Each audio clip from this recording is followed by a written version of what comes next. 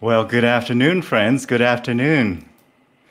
Hope you're doing well this afternoon and uh, hope you're enjoying uh, last little bit of reasonably warm weather up there for uh, um, mid October day.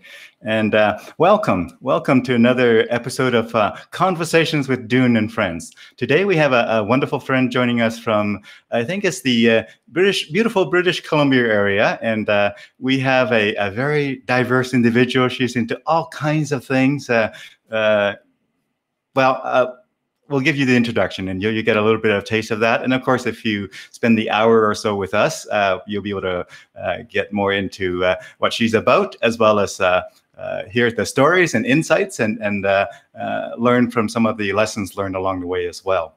So we have Mary Charleson's joining us today. And Mary, can you still hear me in the green room there, my friend? Wonderful. So let me do a, a quick introduction here of uh, Mary's background. Mary Charleson is a marketing speaker, educator, and, and strategist. Uh, she's the author of two books, Word of Mouth, uh, Mouse, and, uh, and Mobile. Uh, let me say that again, Word of Mouth, Mouse, and Mobile, and Five Minutes Marketing. Uh, each featuring tips for the time-starved business leader. Mary is a member of the Canadian Association of Professional Speakers and Global Speakers Federation. Um, she is one of the fewer than 12% of the speakers globally who hold the designation uh, CSP, so Certified Speaking Professional. The international measure of excellence for professionals' competence in, uh, and proven experience. Mary's career spanned 20 years in the media, advertising, and, and education. She has been a, a popular marketing instructor at the City University of Seattle, uh, NYIT, New York Institute of Technology, uh, Capilano University, uh, Acsenda School of Management, and uh, guest lecture at the UBC Sauder School of Business. Mary has worked with uh, hundreds of business and organizations to uh, improve their marketing efforts through uh, consulting and speaking. Uh, contributed to uh, uh, business in Vancouver since 2002, and a monthly marketing consultant, marketing columnist for the Huffington Post. Her uh, work has also been published in, in, the Globe and Mail and the Toronto Star, the Vancouver Sun, Marketing Magazine, Strategy, Zoomer, Cottage, and, and Outside Magazine. Mary is a frequent guest on CBC uh, uh TV News, uh, offering her opinion on, on marketing and business trends. And uh, let me tell you, Mary does so much more than that, and she is so much more than that, and it's going to be an exciting and interesting conversation here. So join us, uh, put her on her, her hot seat a little bit, but uh, but not too much. Uh, she's a motorcycle rider, by the way. So uh, you know, put her on on the hot seat, and uh, we're going to have some fun here. Mary, how are you doing today, my friend? I'm going to uh, welcome you. Here you go. how are you today doing, Mary? I'm doing great, dude. Thanks so much for. it's my pleasure to be here with you. Yeah, I, I just mixed up two words there. But uh, thank you for joining us. And uh, tell us a little bit. Um, I want to hear a little bit about your background before we get into various aspects. Um, uh, how did you get here? Where were you born? Like, like, tell us a bit more about your journey there. Well, I I was I'm originally from Ontario, uh, mm-hmm. a small town called Sutton, Ontario. It's about an mm-hmm. hour north of uh, of Toronto uh, by Lake Simcoe, and grew up there, kind of small town girl mm. and uh, went to uh, university in Waterloo. Mm-hmm. I did my undergrad there, but uh, ventured out to Vancouver in 1987. In my 1980, uh, uh, actually, I was in 1987, but in my 1977 uh, Monte Carlo with my oh, with I my love- skis on the roof and all my worldly belongings in the trunk, and I stayed. I love that car, Monte Carlo. Who who had lived through a, a, the uh, 80s and 90s yeah. and not know the Monte Carlo, right? Oh, it, it was classic, dude. It had swivel bucket seats and, an eight track player. swivel bucket seats. I did not know that. Swivel bucket yeah. seats. Oh, wow. Yeah, yeah. It was uh, yeah, eight, V8 went like the clappers. Yeah, yeah. Well, we'll hear a bit more. You're a bit of an adventurous, I, I understand. You know, I, I, see your posts and I, I see all the things you're into. Uh, I'm guessing that you're quite adventurous, both in the in business and personal as well. Of course, you need to do your risk management, whatnot. But but uh, I'm guessing you're a bit of an adventurous. I, I am, Dune. I've, I've got a number of uh, activities that I do outside of, obviously, you know, my, my work, my speaking, consulting, eh, writing takes up a major part of my life. But I, I like to think a well-rounded person is also engaged in a lot of other things. And I, I have a, a couple of maybe unusual uh, interests, at least for, you know, a female uh, in, in my age group. But uh, I play recreational hockey with some women on uh, a team called the Stanley Cupcakes. Wow. I I ride a motorcycle, which is, mm. you know, not I just and that's a relatively new activity. We can talk about uh, that later. Mm-hmm. But you know, I've I've I do lots of different. You know, I, I kite. Well, I learned to kite surf in Australia. I am. You know, I'm I'm I'm actively uh, traveling uh, when we're of course we're able to travel, and uh, and that spurred another interest of mine, sort of starting up the Carry On Queen uh, website for travel content. We can again, lots of lots of stuff that we can potentially get into in this conversation. Yeah. So obviously, with all those balls in the air, you need a lot of energy, and it seems like you do have a lot of energy. And I suppose part of it is uh, energy is a funny thing. The more you generate, the more you have, I suppose. And if you just relax and sit back and and be sedentary, uh, you probably don't have the energy you need. And then, but then you go and do a bunch of stuff, and then you build up your stamina. Tell us a little bit about how you found that over the the years with uh, energy management, all these things that you do both for business and for fun. Yeah. Well, you know, I think that when you're active, mm-hmm. you know, I get my best ideas mm. when I'm doing some activity. Um, mm-hmm. You know, if I need to solve a client's you know kind of get some creative uh, thoughts going for a strategy or if i'm doing some things around a social media marketing plan or if i'm doing something like that the, the best thing i can do is go cross country ski up in the mountains or do oh, wow. something mm-hmm. where it, it, but i always take either a notepad or my, my phone and i and I, I, dictate a message and or i email myself i don't know if anybody else does that but i get i get a stroke of brilliance but it's something about the energy uh, the endorphins as you know as you're exercising you just mm-hmm. get these great ideas and you remove yourself from your work situation and so uh, i often i mean that's that's one reason obviously but another is just you know when you're healthy you do have more energy and uh, it's also a, a, great way to engage in activities with friends and so you know again a well-rounded person is doing stuff. It's part of the reason why I play on a team with some ladies. Mm-hmm. Uh, yes, we play hockey, but uh, it's it's about more than just the hockey.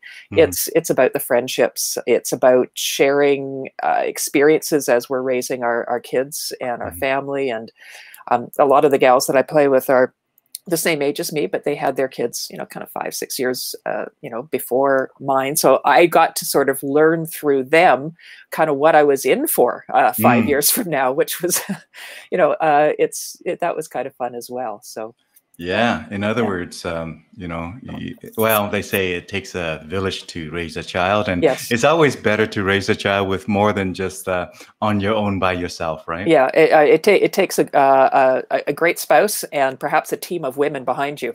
yeah.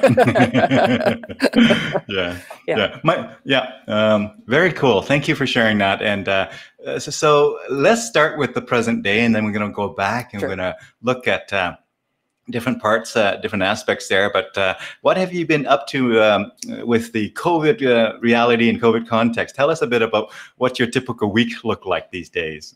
Well, you know, it's it's interesting in that, uh, of course, everything is switched online, as you know, mm-hmm. Dune. It's uh, you know March 10th, kind of things just kind of went er, kind of stopped, mm-hmm. and but I was already very comfortable with kind of the online environment, and uh, you know, using Zoom, uh, obviously, kind of ramped that up quite a bit more. But I've I've actually been kind of invigorated Mm. By mm. the transition. I have to say, I've uh, my my work hasn't really dropped off at all. In fact, it actually gained more in yeah. terms of uh, opening up markets. Uh, mm-hmm. You know, doing workshops, doing speaking engagements in you know in Australia, in India, in you know other parts of North America, and still having dinner with my family mm-hmm. that night. Uh, that's been kind of fabulous. Um, I also uh, teach at a local university, and so all of the the teaching went online. Yeah. And of course, that's you know, there's there are some folks that are kind of running for the door because it's they're just they're just not used to not having the face to face and mm-hmm. and I found ways to really kind of connect with the students and keep mm-hmm. it fun and engaging. And so I think I, I credit some of that to early on in the pandemic. I and it was probably like March 11th, like the day after this whole thing went south. I um I, started up a like a, a Friday afternoon uh, happy hour, and mm. and it mm. was literally I just sort of put it out there to a bunch of friends, invited a number of people on global, some of them speakers, some of them you know just just colleagues that I know in other areas, to come and have a glass of wine and let's talk about what's going on. And it became mm. this kind of weekly thing that I started to kind of market and you know and, and kind of do some stuff around. But it I think reflecting back, it gave me early on a tremendous number of hours of practice mm-hmm. with the platform and and utilizing the tools which then kind of gave that early advantage to being able to be comfortable in this new environment so that's some of the stuff i'm doing uh, of course the writing weekly for my blog for my e-newsletter mm-hmm. and you know sharing helpful marketing tips and content for mm-hmm. for clients but yeah. yeah. Yeah, very cool. Uh, I do want to uh, maybe spot a put a spotlight on uh, the point you made about uh, having kind of spent some time on, on, the social side of things with mm-hmm. Zoom and with the community mm-hmm. really allows you to hone your really comfort level with that virtual environment. So, so folks, you know, when you think about changes. Uh, we have to integrate change into our whole being, not just our work being, but also a home or or community. And and when we can integrate it, things just get more uh, uh, smoother, right? I mean, rather than just saying I'm going to do things at home a certain way, and then when I come to work, oh, how do I learn how to use this Zoom thing? No, you, you embrace Zoom and, and you say, well, this is the new world, so I'm going to first, well, play with it. I'm going to have fun with it. I'm going to socialize with it. I'm going to meet new friends with it, and all of that stuff and then by the time it comes to i have to do it for work as well it just transitions over right transfers over exactly absolutely yeah. Very smart, very cool. Thank you for sharing that. Now, um, tell us a little bit about. Uh, uh, I mean, we can go into any which one of these, but but I'm going to go to the motorcycles. So, kind okay. of in recent recent past here, you got into motorcycle riding. You know, uh, tell us a little bit about why you got into it. Uh, did you do that before, or was it completely new? And uh, what was the journey? Well, I guess the the journey started originally with uh, my husband and I decided that we were going to do a, a motorbike trip on Route 66. Mm. And I hmm. and I was going to be on the back of the bike. And so it was actually routes part of Route 66, the Grand Canyon, Zion National Park. We did kind wow. of a, a, circle route out of Las Vegas. And I have to say, I don't take the back seat easily, dude. but I was pleasantly surprised. And, and, my husband had ridden bikes, you know, on and off throughout his life. He didn't have a bike here. I mean, you know, we have a minivan, we have a family, and mm-hmm. uh, but he had, you know, I, I I trust him. He was a very safe rider and so I wrote on the back, mm-hmm. and and I was pleasantly surprised at the experience and uh, you know the time to sort of look, observe, reflect, mm-hmm. and started to kind of get into it. Mm-hmm. And then the following year, I had an opportunity. I was accompanying my son to Spain. Uh, well, he was going to the World Roller Games to compete for mm-hmm. Team Canada in uh, downhill skateboard racing. And uh, long story short, how it was in Barcelona and he needed a place to stay, and I had a, a, a friend contact there, and so it ended up that it uh, it was a, a mom accompanied trip, even though he was more than capable of having done this on his own and had traveled on his own numerous times before. So one of the ways I arranged to have uh, kind of independence there was we both rented scooters in in Barcelona, so he could kind of go off and do his thing, I could do my thing, and so eh, self-preservation to go and ride a scooter in Barcelona, I thought I better sign up for a motorcycle course and learn how to ride this thing kind of properly. So I, I did that and that's kind of where I started to sort of get the feeling that maybe I could do this. And so we rented those scooters when I came back from Barcelona and and touring around in Spain. I bought a motorbike, and uh, kind of the rest is history. And so my husband and I now ride together.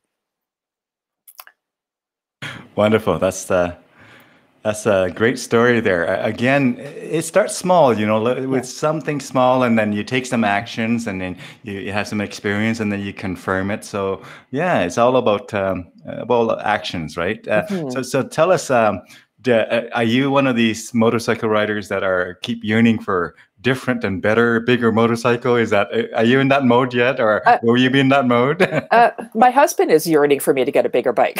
uh, my, mine is a, a, Yamaha V Star 250. It's it's it's a it's a baby bike by by power standards, but it's got mm. lots mm-hmm. of chrome, and I think I look pretty cool. there you go. That's part of it, yeah, right? Yeah. Now, yeah I'm going to bring in the photo here so we can reminisce a little bit because you know I mean? Uh, talking about it is cool but but it's always fun to kind of see it as well. So so yeah, here it yeah, is. That's uh, that's the that's the scooter one in in Spain. Yeah. Uh, so that's kind of where where it started, and uh, I and I think I think there's I think we there's a there's a photo of me uh, somewhere on the Sea to Sky Highway with uh, with the with the Yamaha too. I'm not sure if you found you that bet. one. I see it. Yeah, I do see yeah, it. yeah, so yeah, uh, yeah. it's a little bit uh, sort of uh, a number of photos away. So I'm going to Okay, uh, no bring it in here. T- t- tell us about that while I bring it in. Go ahead. Sure. Yeah. Uh, so so which one? The um The- the highway one. the highway one. So this Yeah. is just uh, I mean live in Vancouver, so we are we are blessed with some pretty spectacular scenery, and so a ride up the Sea to Sky Highway towards Whistler is is a spectacular drive. So Mhm. this was one where my husband and I were. You can see his bike in the background. Uh, we're riding up together, and so it's become this kind of fun activity that uh, you know that is you know as our kids have gotten older, they're 19 and and uh, 22 now, uh, that we Mhm. can start embarking on some things together. hmm Yeah. Yeah. Now, so so uh, do you play the "Born to Be Wild" song while you're riding along the highway? yeah, I took some uh, I took some jokes around that song when uh, when I first got the bike, uh, you know, it, from uh, you know fr- from some uh, friends and relatives. But uh, yeah, Yeah. no, it's uh, good fun. Very cool. Yeah. I, I I I used to have a couple of bikes back when I was 16, 17, 18. I think I sold it when I turned 18 or 19. Um, and uh, they, uh, you know, they give you those licenses and they, they don't take them away. That they actually, you know, leave it with you, right? Yeah. Like, Yes. so, so uh, I think if I go back this way, I think I might see. Some, oh, there you go. There's another one here. Oh, so there we go. Yes. So that's the that's the Route 66 photo. So that's uh, my husband Chris, and uh, that's us doing part of the historic Route 66 on the bike. So yeah, Yeah, yeah. yeah. So let me ask you: Has the motorcycle journey so far, it's been uh, sort of recent here, uh, spawned any marketing consulting ideas uh, while you were riding? Has has the motorcycle paid for itself yet? I'm kidding. No. I'm kidding. I was gonna say that's a stretch, dude. yeah. uh, yeah, I you know I think just just the um, maybe more than anything, just the realization that you're never uh, you know, it's never, it's it- trying something new Mhm. uh, challenging yourself for a new skill set, new Mhm. interests. Uh, I think uh, that's an attitude that I carry over to my to my business and my marketing. It's you're always looking to learn, Yeah. always open to new ideas, Mhm. and uh, you know, I guess it's just it's an attitude as much as it is a skill set. Yeah, yeah, yeah. So, uh, I mean, I don't believe I, I, I don't remember in the bio when I was um, walking through the bio for, for our guest there. Uh, you did not even mention your your business degrees and all of that. I mean, you Yeah, were pretty serious in uh, business education and MBA, you know, Masters of Business uh, Administration and all of that, and, and pursued a very business sort of focus uh, life for probably a, a while, for a long time. Mhm. And while you're doing it now, it seems like you're bringing in more of the other aspects, whether it's hockey, whether it's uh, you know motorcycle, Mhm. whatever have you. And uh, uh, ha- has that always been the case, or was there a period in your, your life when, when you were so focused on business that uh, you know recreation was was not? Uh, Well, I think um, I mean I'm I'm still very and, and make no mistake, uh, very much focused on on the business and the marketing, uh, marketing with media, five minutemarketing.com site. mhm, and also the you know the business around it. But I have to say, a couple of years ago, and it was uh, we can actually uh, credit our, our good friend Pat Katz, uh, a, a conversation I had with her uh, Hmm. at a, about the pause. About yes. the pause, yeah. uh, yeah, exactly, and just about um, you know when you know when you start to get interested in in something else in addition, uh, maybe you should go explore that. And so uh, that's uh, was kind of what prompted my my whole exploration around launching a, another brand called uh, Carry On Queen, which is kind of a travel writing content creation brand. And that's something that, uh, and I've always been known as the carry on queen because I don't check bags. I never have, never have for business, never have for pleasure. I I'm the queen of being able to put it all in one carry on. I've traveled, you know, for business trips. I've traveled for six six weeks in Australia, four weeks in Europe. I can do it all in one bag, even when it's a mixed business and pleasure kind of trip, which uh, several of those have been. And so I decided to, you know, kind of launch this brand around called, you know, Carry On Queen and just apply what I knew about marketing to the brand, and to also then kind of, kind of, uh, kind of, again, it's challenged myself to, you know, to learn a whole new industry. Mm-hmm. And what's uh, what's been interesting about it is, of course, you know, when you're when you have a business mindset, you inevitably go down that route. And so I've been able to monetize uh, some of the things around it and uh, been able to, you know, with content creation. And also, curiously, through the pandemic, of course, we know the travel industry has been very, very hard hit. I've been able to kind of and I hate the word pivot, but uh, anyway, it's so overused. but I've been able to kind of apply mm-hmm. my knowledge of marketing mm-hmm. to an industry which I've become quite acquainted with and have a lot of new contacts with to be able to kind of take the best of what I know about both worlds. And so I've been, you know, engaged in in writing articles around like contact tracing, you know, how that's working. I've interviewed, uh, you know, Terry Jones, who is the the founder of Expedia. Mm-hmm. I've been invited, you know, to speak to various associations around marketing during the pandemic and kind of applying that.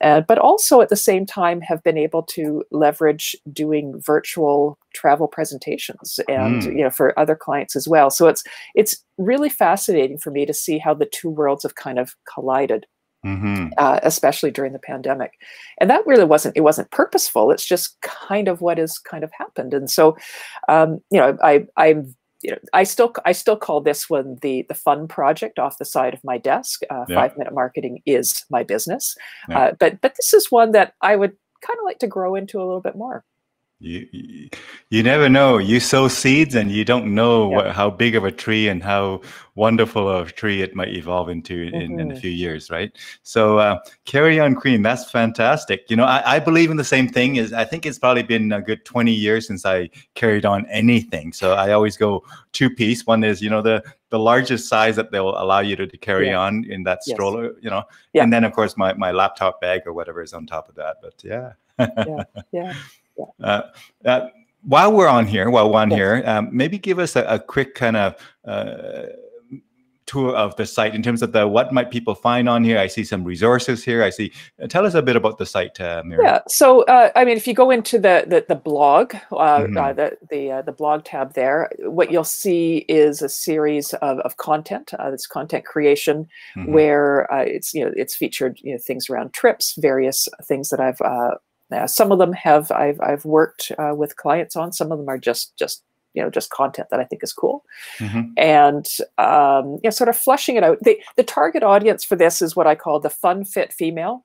Uh, mm-hmm. many in their 50s mm-hmm. who uh, you know travel with friends with family or, or solo and um, you know uh, travel light experience more is kind of the you know the approach right. and you can see the last couple of articles have kind of taken a bit of a kind of a blend uh, with the the pandemic there you know mm-hmm. looking at you know 2024 site for whistler in the ski season so it's it's a travel tourism related piece, but it's also taking a look at some of my marketing insights around that. Mm-hmm. Mm-hmm. And so again, that that one kind of blew up uh, with a number of different other blogs sharing it. Uh, you know, just sort of questioning what you know Vail's marketing strategy and and how it was going to play out with locals.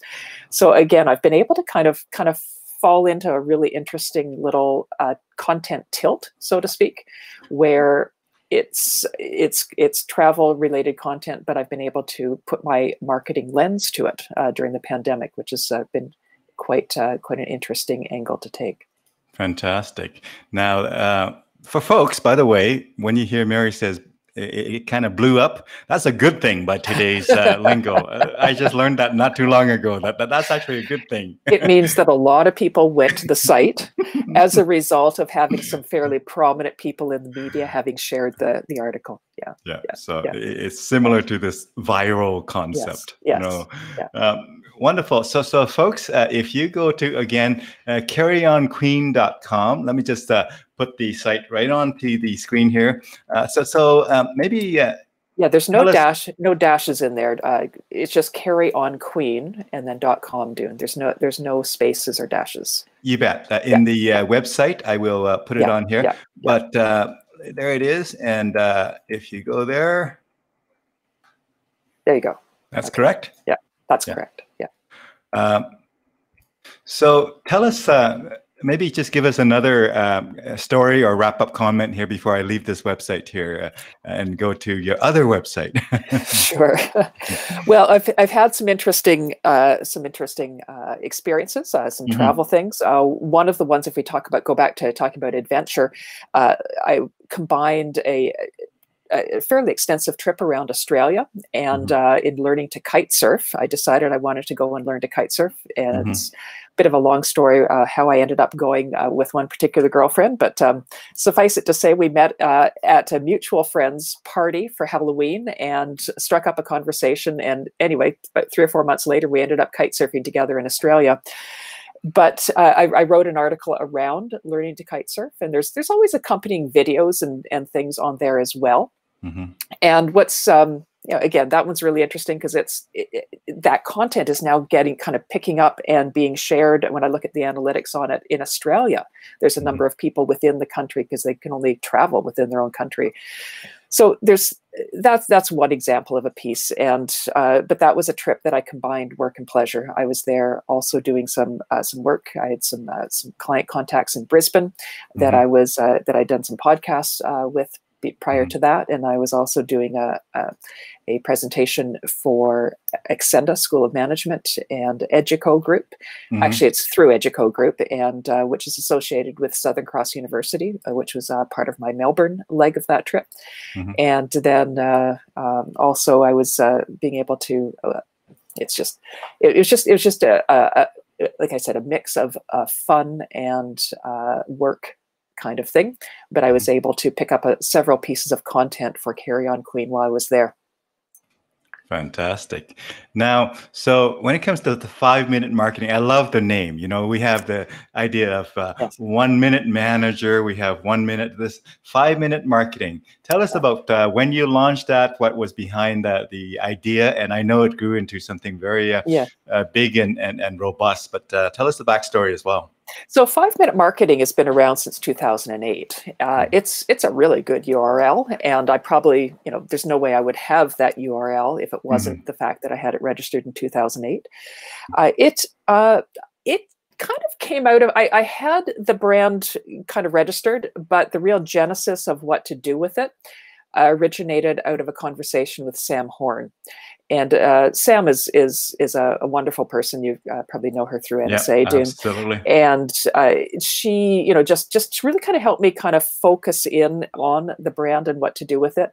And at the same time, I was also writing the five minute marketing book. And what it was based on initially was I was I had I'd written a series of kind of regular articles for uh, business in Vancouver after completing my MBA and I'd accumulated all this content, and I realized that I, I love to write, and and so the idea of sharing some of the, that advice, some of that content with clients, and you know regular regular folks through regular uh, weekly posts on Five Minute Marketing was initially kind of what what it was all about, and then over time I sort of brought over my speaking stuff, my consulting, uh, you know, core. I've got you know online course there, uh, which is another kind of interesting thing that has been able to serve me during the pandemic because I've been able to take that course and include it as part of the embedded kind of licensed material for some university course that I'm teaching as well.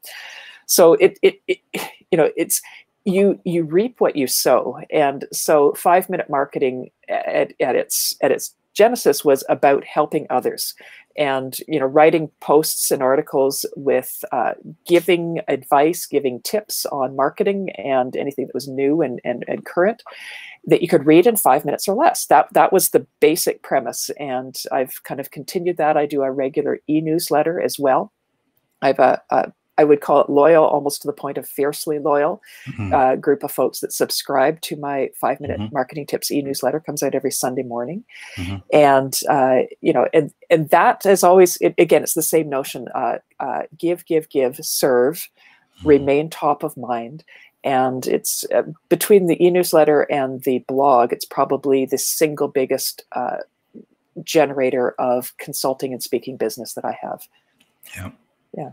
Yeah. In other words, uh, it is almost like a, an entity on its own that happens to love you, the creator of it. yes. yeah. uh, so tell us just uh, briefly uh, what people will find on here. Just take a quick uh, kind of perusal of it. Here. Well, it, it defaults on the first page to, to if you scroll down there uh, doing it, it defaults on the first page to displaying the most kind of current blog content. So you see, yeah. you know, I've got here in search of serendipity. That was a, a post around the absence of those kind of uh, accidental moments that we're mm-hmm. having right now during the pandemic and how those are the genesis of creativity and mm-hmm. marketing. Mm-hmm. So that mm-hmm. there was a bit of a, a post around that. Yep. you kind of scroll a little bit further, you'll see some, you know, an example there. There's, you know, beating word of mouth worthy during the mm-hmm. pandemic. You know how that has uh, changed quite, quite a. I would say, you know, since March, most of them have had, uh, you know, an angle to them around you know things that have changed and shifted during the pandemic. Uh, you know imagine our, that you are staying current. That's a good thing. Well you know i i am fascinated right now about you know, the changes in behavior mm. that are and, and, the changes in habits that are happening right now. And there's so much shifting at the same time uh, that combined with fear and and and in my fear that this this ingrained fear is going to remain longer term and mm-hmm. how that's going to respond in terms of changing consumer needs I, I, think it's going to be something that we're going to have to deal as marketers with for for the years to come i think there's we're actually creating a generation that mm-hmm. uh, is going to be impacted by this so a lot of my writing is based around that mm-hmm. so that that's kind of the, the blog uh, portion of it and then if if you go up to you know there's yeah the five market changes you, you, you get the idea uh, mm. and i mm-hmm. always post a video uh, that, that's embedded within the blog post that yeah. is also, also over on my youtube channel um, but at the top you'll see dune there's also uh, a listing if you just kind of scroll up to the top of the website again mm-hmm. you'll see across uh, consulting uh, speaking uh, there's those are just you know kind of you can go into that, but it, you know, it, the speaking part sort of shows, uh, you know, where I, you know, the topics I speak on, uh, kind of gives them an idea. Obviously, I'm doing uh, e uh, e pre uh, e presentations, uh, you know, doing them in digital form these days. In in addition to live at some point in the future, I'm hoping again, mm-hmm. but very comfortable with the e presenter kind of format, and kind of gives gives clients the idea of some of the things of, around the topics that I, I speak on.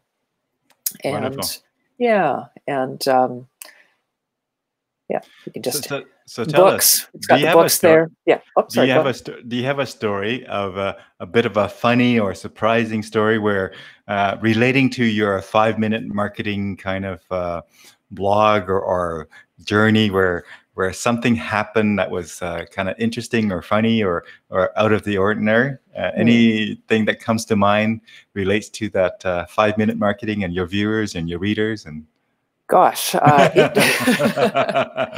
you, you know what i had the the pleasure of having uh, dan poynter uh, mm. as as a bit of an advisor on my book five minute yeah. marketing uh, initially the, as, the king as, of books the king the of king of self-publishing and at, yeah. at the time when i was doing the book self-publishing was you know that that was my first book five minute marketing and then word of mouth mouse and mobile was the second one but the first one was kind of at that that that stage where self-publishing was still kind of new mm-hmm. and uh, dan very was very encouraging and you know advised me on a lot he actually i, I used his the same editor that he uses uh, uh, mm-hmm. gal who's actually from vancouver mm-hmm. and um, you know and so I, I, don't know if that's it's not really a story related to the blog but it's a story related to the name of, mm. of the book and how that became such a strong part uh, yeah. strong part of things yeah yeah yeah yeah cool well thank you for sharing that uh, I'm going to uh, take us to um, kind of turn left here a little bit, get into some of the recreation activities. You have some videos that uh, I would love to share. So tell me okay. which one you might want me to bring up first. Uh, I gotta. I don't know if you have it uh, sort of uh, uh, I can't remember, remember what, what, I I can't remember I what I up, sent you. yeah, I can bring it up on screen if you want to kind of choose sure, the. Sure. Would that work? Yeah, okay. no, that would be fine. Yeah. Okay, so it's if we want to go and, and, do that, give me just a second here to sure. cue that up here. So uh, let's see here. I'm going to just go ahead and uh, bring in the screen here and. I, I could yeah. just sort of share share with folks is that uh, I, I I'm usually a very very organized person, but uh, I somehow or another missed Dune's prompt to send some things to a Dropbox, and so I was like the I was like the kid who didn't do her homework last night. and uh, so I, I, I filled your Dropbox full of a bunch of videos. Some of some of them are from Carry On Queen. Some of them are I, I, think there's a. I think I may have sent you our, our hockey one, our Stanley yeah. Cupcakes hockey. Yeah, let's have yeah, some fun. Let's have yeah, some fun here. Uh, sure. You go ahead. Tell me which one to click play on. We'll, we'll enjoy okay. Some. Well, um, I'll make it bigger. here. I mean, if you want to, if you want to have some fun with the Stanley Cupcakes, uh, this is it's sort of it, it gives you a sense of who we are as a group of gals. Uh, there's there's the one I think it's the Stanley Cupcake hockey song. Yeah, let me so, just see. Yeah, we uh, we decided to kind of narrate the Stompin' Tom Connors Stanley Cup uh, st- or uh, uh, you know the hockey song, and then did it to a bunch of photos. Uh, this one here, right? Yes. Yeah. It, okay. Yeah, you could you, you could play the beginning of you it. Or, yeah, uh, well, uh, let me know if you can hear the sound. Okay. Yes. Yes. Yeah. yeah. Suffice it to say, we're more than 40, 40 now. so, yeah, we're called the Stanley Cupcakes. but it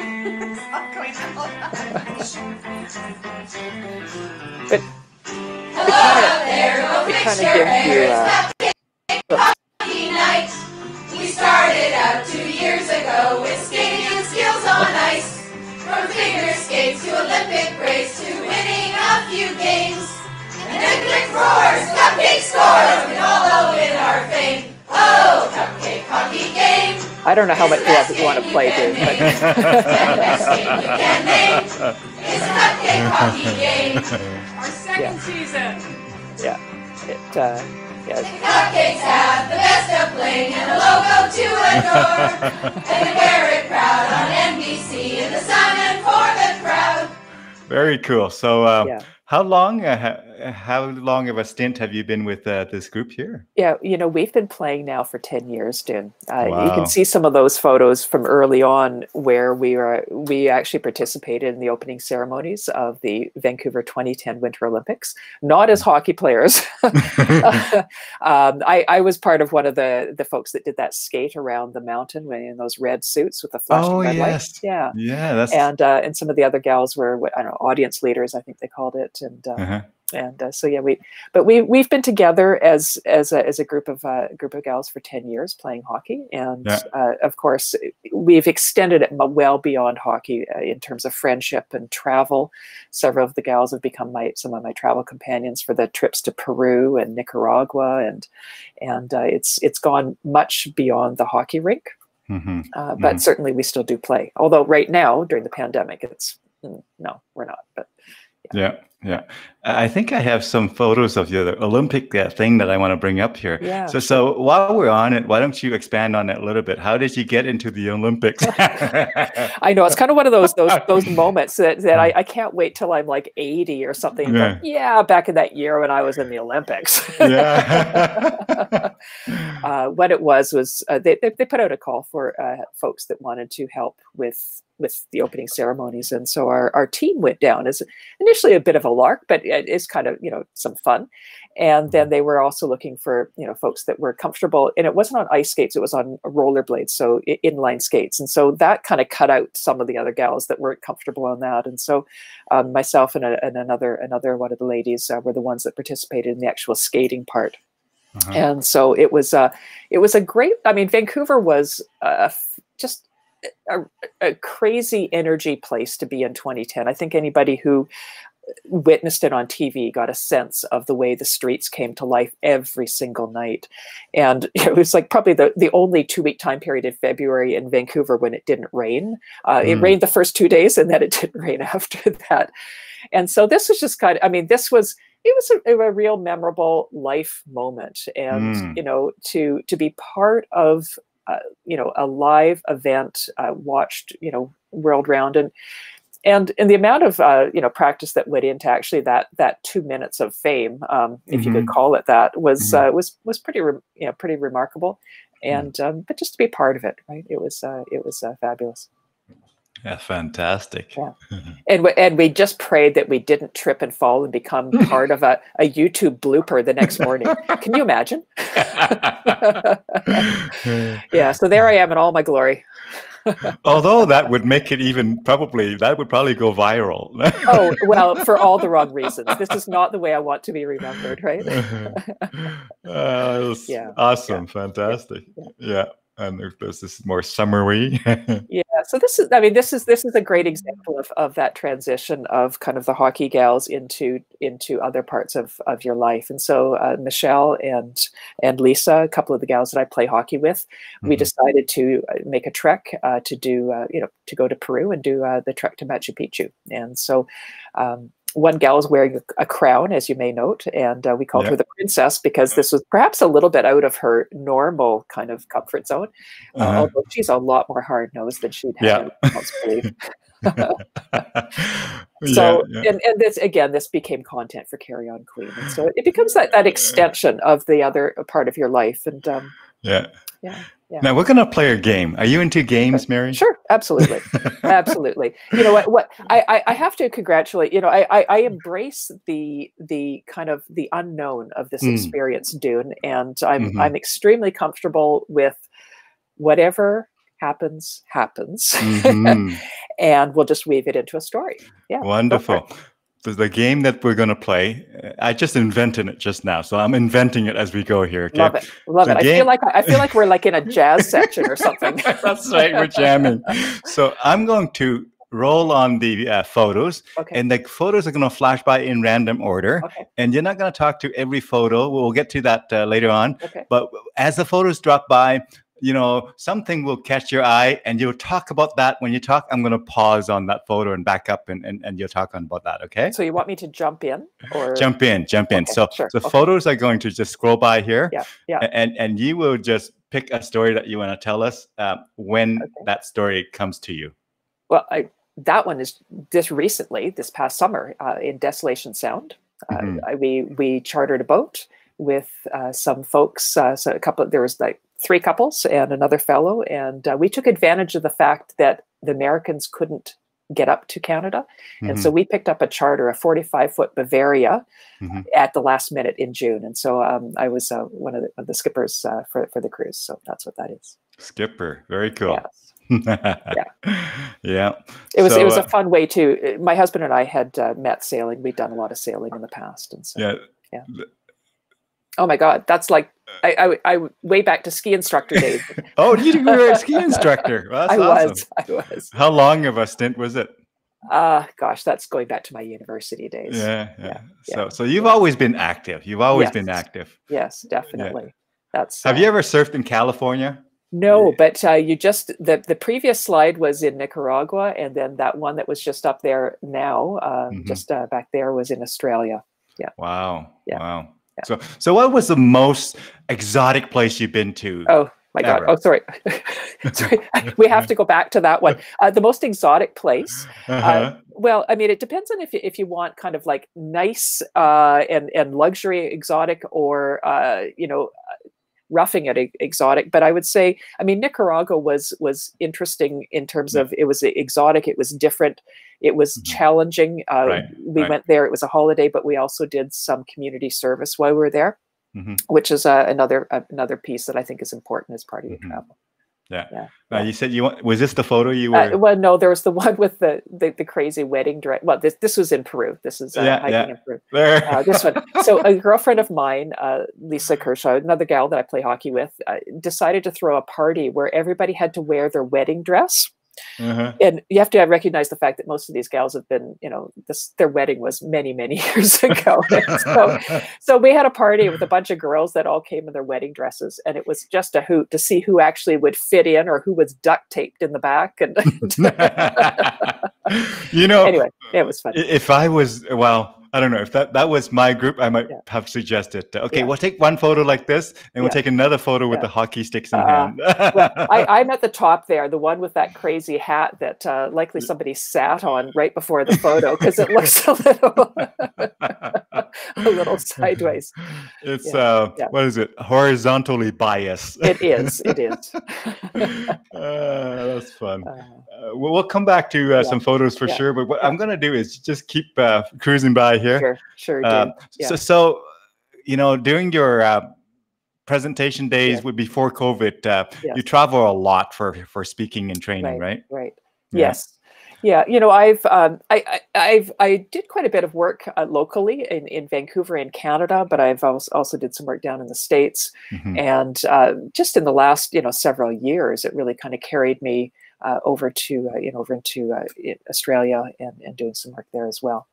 So tell um, me the craziest uh, travel story that you have experienced. the craziest. Oh my gosh! Yeah. You know what? I think it would have to be the uh, the tsunami warning mm. that we had in Nicaragua. the The siren went off in the middle of the night. Uh, it was during a thunderstorm, and we actually thought there was a tsunami. And they were announcing it. It was all in in Spanish. We could barely understand it and we we basically had to run out of our little thatched huts and get to the you know to the area to gather and to get on buses and then they they then they announced that it had been a um, uh, a mistake that basically that the the um, uh, the lightning bolt had hit the the station, mm-hmm. but uh, but essentially, it, yeah, that that was probably I would say the most terrifying. And then a couple days after that, because there had been so much rain, all the crabs kind of came up out of the ground, and it was like the night of Edward his Scissorhands. It was so, so, eh, I mean that whole trip, and then a girlfriend having a scorpion in her shoe. I mean it. I mean it sounds kind of crazy. We did have a fabulous time, but it was nuts. yeah, yeah, yeah, yeah. So uh, tell us about CAPS. You know, the Canadian Association of Professional Speakers, of which we are both members, and uh, yes. uh, you've been quite involved in the national board and, and all those different initiatives as well. Tell us your uh, perspective on CAPS so I, I, was on the board of CAPS, the national board, and this is actually a photo. I think from it's a couple of years uh, years back. I, I, served on the board for two years and almost a third year because uh, Suzanne Stevens kind of ramped me into it a little bit earlier. and uh, prior to that, had served on the local board at our, our Vancouver chapter level. I got involved in CHAPS. Uh, CHAPS. I got involved in CAPS. Uh, that's a blend of chapter in CAPS. Um, I got involved in CAPS in 2008, I believe, uh, mm-hmm. and uh, you know, right at, at the edge of when you know the the, the Great Recession, and um, that's sort of when my, my speaking career kind of kind of started off. And early on, I got some great advice from folks like David Gouthro. Uh, I'm just trying to think who else. Uh, but you know, they they essentially said two things: get involved at the you know, kind of the governance level, get involved in terms of the board, and make sure you go to the the, the annual convention. And so mm-hmm. those are the two things that I've, I've made practice of doing. And uh, when I was on the national board, I, I helped with the marketing, the certain sort of the marketing chair, and it not only enabled me to give back to the association in a way that I felt that I was well equipped to do, but it mm-hmm. also enabled me to have you know kind of those make those you know nurture those connections with mm-hmm. folks that are at that level and um, along along the way with that then i was uh, encouraged you know to uh, to do my csp actually i think i did it before i was on the board but it was it was all kind of part of that that that same time that period journey, yeah. and then then really got tapped into some of the folks in nsa in in in the US. Mm-hmm. And I've maintained those friendships as well. And so it really was a way to open the door. And but certainly CAPS is such a giving community Mm-hmm. Uh, I've I have gained far more, um, you know, and, and, and as a result have given far more to others, and it's mm-hmm. uh, it's it's very much a nurturing a nurturing community that way. Uh, we've yeah. learned from each other, and yeah. I'm, I'm I'm super excited to to meet again all of our friends online, even though we do it in our, our happy hours, uh, you know, to to share and see how people have adjusted their businesses during this time period because it's it's it's been challenging. I'm sure some are flourishing, and I'm sure some are really you know kind of having a tough time. Mm-hmm. And I know um, when you said 2008 was when you joined CAPS, that was the year that um, CAPS convention was in Calgary that year. Mm. You know, I think I, am trying to remember I, that my first co- convention was Toronto, and so mm. which was mm. that 2000? Uh, maybe I've got my years mixed yeah. up. No, yeah, doesn't matter. To, um, I was just commenting that uh, you know, so that 2008 yeah, would be about yeah. two years before I joined. I joined okay. in 2010. So I just remember that at the time somebody at the stage said, you know, the recession, I'm choosing not to participate, and I thought, yeah, yeah. that's not going to work out. yeah, yeah, that sounds like 2008. yeah, yeah. So, so uh, wonderful. Now, when you think about marketing, uh, if somebody who is uh, a little bit um, uh, say I'm going to call it marketing for dummy, if I can use that mm. phrase. Uh, if there's somebody who doesn't know a lot about marketing wisdom, what would be the the, the top three things that you might tell them that might uh, kind of start to uh, put them on the right path when it comes to marketing? Any uh, insights or any sort of um, uh, even perspectives that you sure. would want them to embrace? Well, I mean, I think at, at, its core, it's all about understanding who is your target audience, mm-hmm. who are you speaking to, who do you serve, mm-hmm. and also understanding at, at, the core what is your unique selling proposition. What do you do that your mm-hmm. competitors don't, that your target market cares about, that's not easily copied. Mm-hmm. Those two things will help define where everything else gets built out. Mm-hmm. I think right now, though, with marketing, there's there's so many things shifting and changing Mm-hmm. And I really think to be a good marketer right now, you need to be human, you need to be authentic, mm-hmm. you need to create kind of uh, communities or, or actually allow customers to create communities and then you serve them and kind of come alongside. Mm-hmm. I, I, really think uh, there's, it's, you want to plug into that word of mouth, the, the mm-hmm. powerful word of mouth, because, you know, right now, you know, two thirds of your marketing is being done by somebody other than you and mm-hmm. it's being done through social media it's being done through earned media through mm-hmm. word of mouth rating sites you know it's um, you need to be good and then let others talk about you and i think it, it really that's kind of uh, essentially been at the core of, of a lot of my message through five minute marketing was was to serve a community know who my target mm-hmm. audience is and to give give give and so i think you know right now that whole that whole thing of being human being um, you know being where your customers are understanding you know right now you know what changes have happened and mm. what are they struggling with. And i think you know there's so many things. I, I did i did some research uh, just informally through my linkedin group my e-newsletter group. It was back kind of in, in June. And I asked them about their changed behaviors. And I think I just I'm just going to refer to a, a, note here, but I think it was 73% had said that they had changed their product suppliers or services with somebody that they were previously loyal to. And that I, I found shocking. But mm. even more shocking was that 65% said that they, if they were pleased, they planned to stay uh, mm. with that in the future. And that shows you the degree of volatility which is happening right now. And so the, the businesses that tap into the unserved or underserved mm-hmm. needs right now and do it in a genuine, authentic way with empathy, mm-hmm. uh, I think are the ones that are going to flourish. And you know, as I said, at the co- at the core of that is understanding who your target audience is, and it may well have changed. Also, you know, what you do in terms of being unique may need to alter slightly as well or change dramatically uh, simply because the, our needs have changed and a lot of them aren't going back. Yeah, yeah. So what I what I heard, I, I, if I had to summarize that, I would say, uh, you know, during this uh, unprecedented time, we have to just uh, use the technology, but use the technology to allow you to be more human. Yes, definitely. Don't use the technology to then come across as technologists to come across as robotic, to come across as scripted.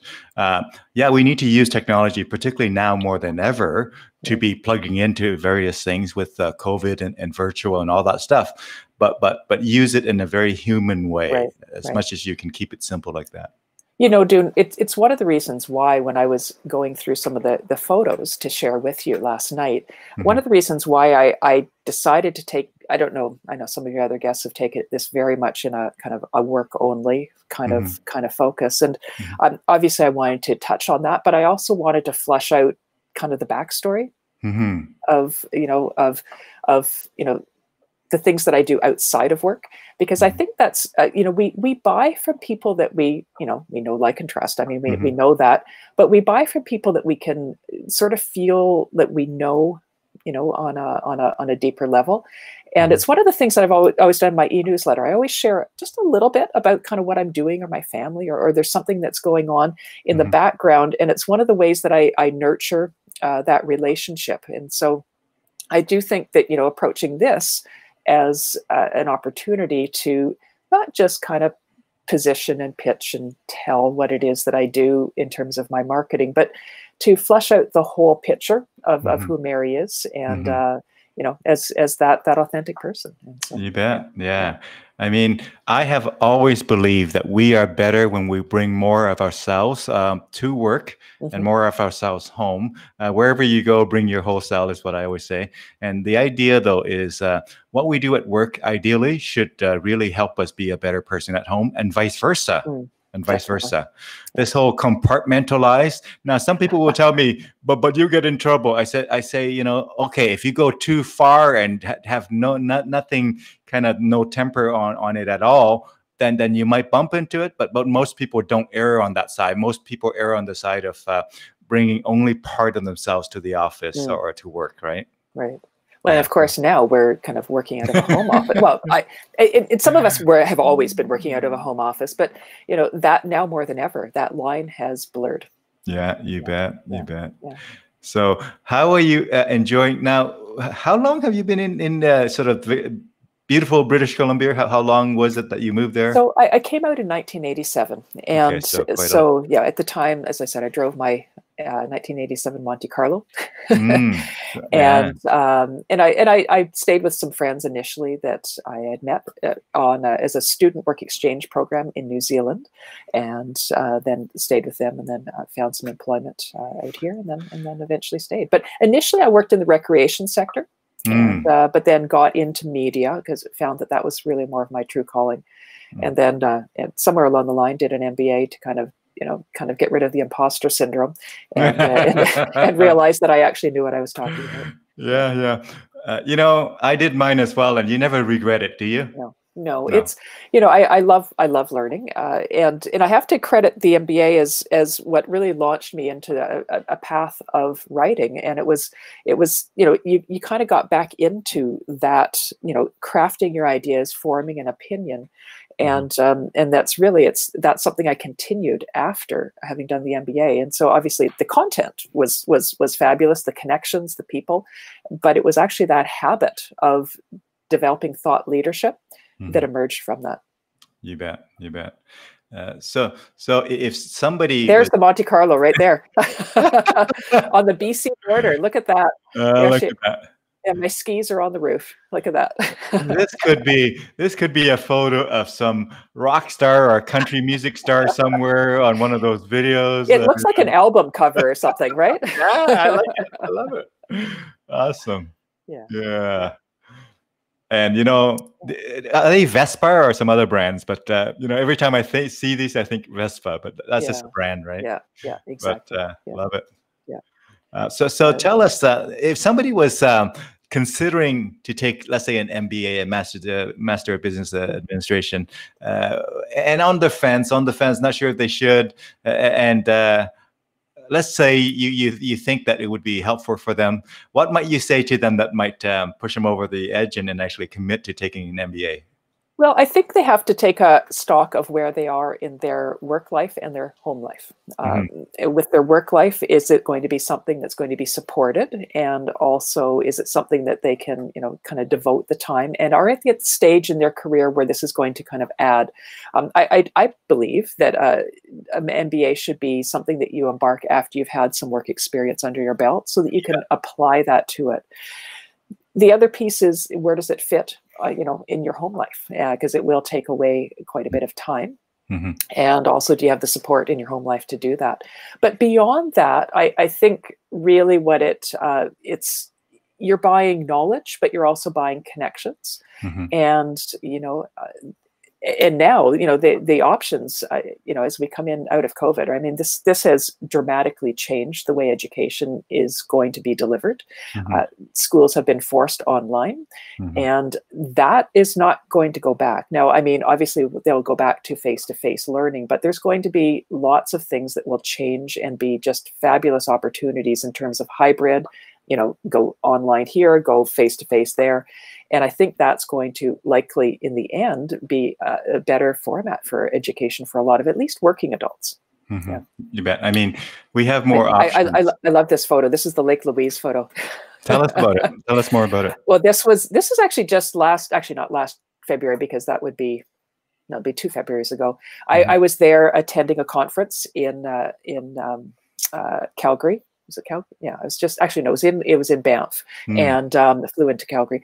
Uh, it was in Banff, and then uh, after the conference and uh, you know meeting with some clients, I, I rented a car and I deked over to Lake Louise because I had this I had this romantic notion of ice skating on Lake Louise, and so I got there literally as the sun was setting, and I had taken my my hockey jersey, and I just thought I just I just you know, so I skated and I, and I got this iconic photo. And, and this was a, a photo which I, it was part of an article that was in the Vancouver Sun about skating on Lake Louise. And it was also a contributed piece to Travel Awaits, uh, which is another uh, publication web um, site that I write for uh, on a paid basis out of the United States.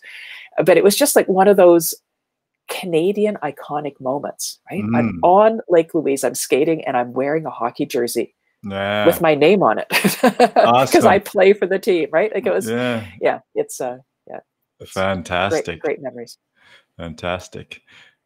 Nineteen, yeah. Oh, this Paul, is your Paul Henderson's number. That that's very deliberate. Uh, is it? 19, yeah. Okay. 1972. I mean, I'm I'm an old time hockey fan, and uh, oh yeah. Paul Henderson scored the goal in 72. 19 has been my number. Oh, yeah, I, yeah, I, was going to yeah, ask, you know, when when that photo came up, my first question was like, you know, uh, is there any significance to number 19? How did you come to 19? But I thought the team might have uh, just assigned it to you. Well, actually, I, I came in a bit late and there were only so many numbers left. but when I saw 19, I thought, that's mine. there you go. Yeah. yeah. So. Awesome. So, so uh, I was going to uh, uh, let's play another video. Sure. Uh, uh, I'm going to bring it up, and uh, you can tell me which video to kind of uh, uh, pull up here. So let me uh, just cue that up. While sure. you know what, while I'm queuing that up, why don't you tell us a little bit more about um, the whole um, if somebody wants to go you know speak professionally if they, they, they want to say you know i've been speaking I, perhaps i might have joined toastmasters perhaps i might have speaking uh, spoken for free and, and whatever have you uh, and they are considering kind of the journey to become a professional mm. speaker what are two or three things you might share with them uh, that well, might help them consider it thanks dune um, you know, certainly the Toastmasters is a great place to start. Uh, mm-hmm. That's uh, that's where I got my start, and mm-hmm. uh, you learn not only about speaking but also about how to organize a meeting, how to deliver feedback. There's so many other skill sets that you learn in Toastmasters. But I, I joined uh, CAPS, and um, and I think as a speaker, uh, you know, having some role models to aspire to. And so I know uh, initially I, I attended a, a, CAPS meeting. It was with, uh, I think it was Elaine Allison, Cheryl Cran, mm-hmm. um, uh, Linda Edgecombe, I think were some of the, and they were female speakers. And mm-hmm. it sort of gave me permission to kind of think, oh, you can make a living at this. And here's, here, and here's women who are doing it and, and so I think you know for folks who are starting out, I think you know getting grounding at Toastmasters is a great place to start, mm-hmm. and then so, sort of you know uh, you know doing you know some of the you know the initial the free gigs you know speaking for audiences that uh, need your your message and mm-hmm. finding a way to kind of get your get the word out on what it is that you do mm-hmm. and you know starting that way and then sort of slowly working yourself into you know you know coming to you know some some meetings and i know that caps has some terrific online programs that help support speakers you know our, our the speaking academy i think is fabulous mm-hmm. uh, the materials that they've put together for uh, aspiring speakers and you know so learning from that coming to you know conventions you know uh, learning for others who are, are in the industry, mm-hmm. but also recognizing that there's different kinds of speakers, and especially, and I think the COVID will even drive this home even more in that, you know, it used to be you thought that there's there's the keynoter, right? And there's and there's the rock star and there's the keynoter and that's all there is. And there there there's always been more than that, but I think this is really showing us how that has unfolded. You know, there's the workshop leader, there's the, you know, the uh, the facilitator, there is the the person who is is is comfortable in a in a teaching role. There's, you know, in, in this environment with online has opened up whole lot more of that.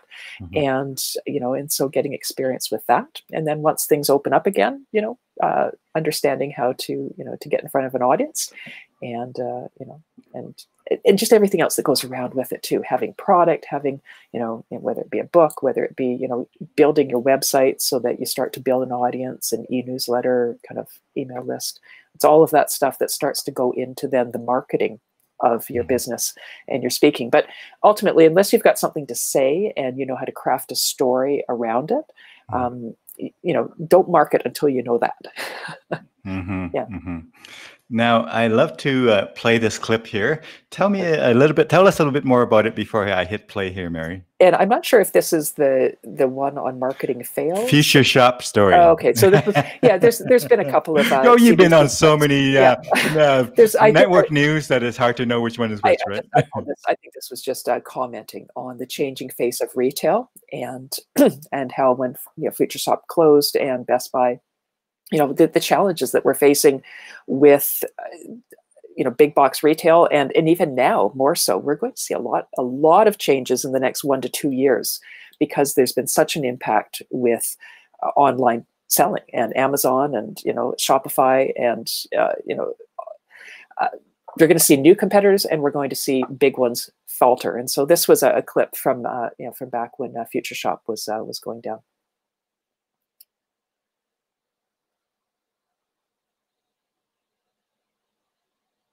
I'm not sure. I don't hear the volume on that, dude. Do you hear that?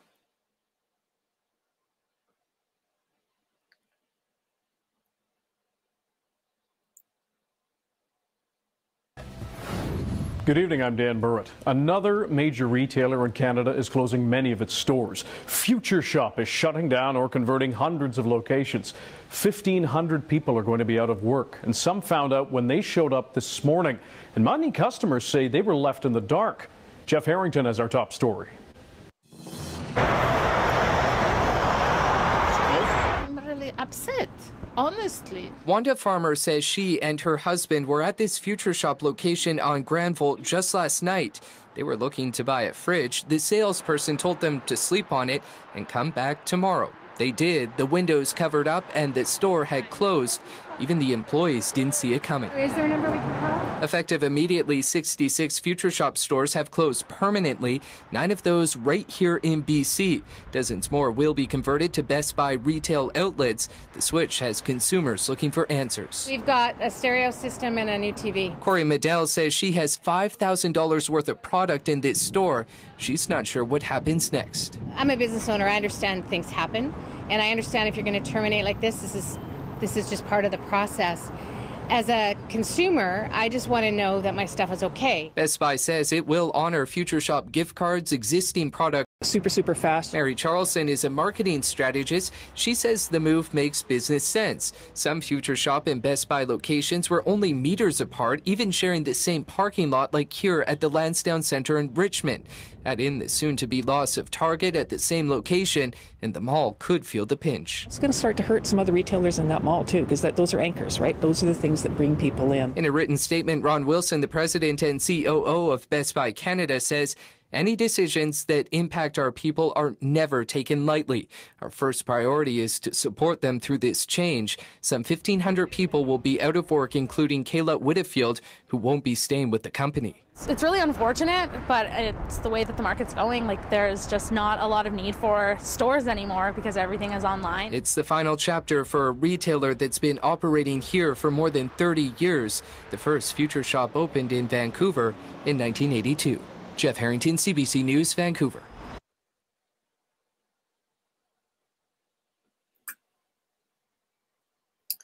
You know, I think it, this we're going to be seeing more of this type of thing, and mm-hmm. you know, it's um, you know, certainly there there'll be challenges as as consumer behavior has changed. Right? Yeah, yeah, yeah, yeah. So uh, just pausing on that and, and just think about marketing. I think you mentioned earlier that marketing, along with everything else, needs to continue to evolve because uh, this COVID and all things related to it, and and not only not only that, but but uh, that trend was kind of coming anyway. and now it's just being accelerated hugely yeah. by COVID. So, so I think COVID accelerated a lot of things. Whether it's work from home, we mm-hmm. probably were heading there slowly, but yes. probably surely. Yeah. yeah. Uh, you know, the whole uh, what is it? Uh, we got working from home. We got the whole uh, more online shopping. We were heading there. We were heading there. COVID just ushered it along. So there's a lot of things that that COVID just uh, accelerated. Mm-hmm. And because we were heading there anyway in the long run in many of these areas, chances of us going back to where it was uh, on March 9th is likely uh, not very big, right? Yes, absolutely. Yeah, I think, and you know, it's you know, it's work work from home, the online, the it, especially as, as this this this notion of fear hmm. continues mm. to to to kind of plague consumers. And um, I don't know if you you know the work of uh, Martin Lindstrom at all, but he's um, mm. he's a he's a fabulous guy. I follow a lot of uh, what he writes about, and um, and, and he's got this whole notion of how fear will remain longer term, and so he kind of equates it to you know, around you know post World War II, kind of you know, uh, you know, or sorry, um, you know, the Depression, right, and then kind mm-hmm. of come uh, when it came into the uh, World War II, how there was that whole kind of generation that was programmed around fear Mm-hmm. Around mm-hmm. you know will i have money will i have food will i have and so and we saw that stay with them their entire life and mm-hmm. you know if you have grandparents that you know coupon clipped and you know, save money and wouldn't wouldn't borrow and leverage and so he he sort of you know and, and, and i tend to I, I very much agree with him is that this this uh, fear may be kind of rewiring mm-hmm. us as consumers, in particular, a generation of, of, of, young people who have never really known a, a world outside of their devices. And so they're spending more time, and, and the fear is being reinforced with the news, uh, mm. which is which is uh, you know just kind of keeps on delivering you know, you know bad bad bad all the time and and so um, I mean I can go down a rabbit hole of algorithms on on on social media and why that's why that's so and why it's wrong but um, you know i think um, there's so much change happening right now in terms of consumer habits you know we talked about you know working from home the shopping online uh, the you know the self-improvement focus you know people are you know you know looking inward you know uh, you know what do i value? What do i want to maintain after this pandemic is over? You know the whole do-it-yourself culture you know the gardening you know all that stuff home improvement uh, was in there. You know economic savings are up. There's there's so many kind of kind of things that are percolating up. And as you said it, it was the pandemic just accelerated it. It mm-hmm. really didn't you know it's in, in some ways we're, we're kind of on this curve where you know stuff that should have happened five years from now it has already happened Mm-hmm. And the laggards that are usually at the end of that curve, kind of coming on board, got mm-hmm. pushed into the early majority.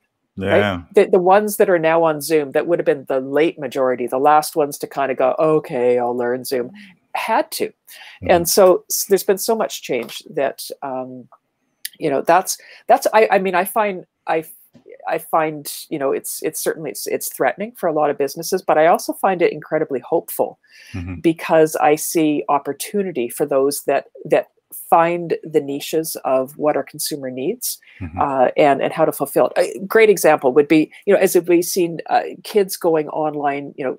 Uh, parents of, of elementary school kids going uh, having to you know to help kind of coach the kids in online learning mm-hmm. what a great opportunity for you know uh, tutors and and and you know maybe new new grad uh, mm-hmm. teachers and educators to kind of uh, form a business that supports you mm-hmm. know kids learning so the parents aren't forced into being teachers um, you know there's there's other I mean, there's you know two offices two most houses aren't built maybe built with one home office but not two and mm-hmm. so now you've got two spouses that are working in a home office you know somebody who who builds you know who who, who builds packages that can help you convert things into a, a, home office or maybe even like a little cabin that you you know it arrives like the you know the home office in a box in the back of your yard you know i i, I just I, I, look at it and i see opportunity for unfulfilled needs yeah. i do as well yeah. i do as well i am a firm believer in the idea that uh, when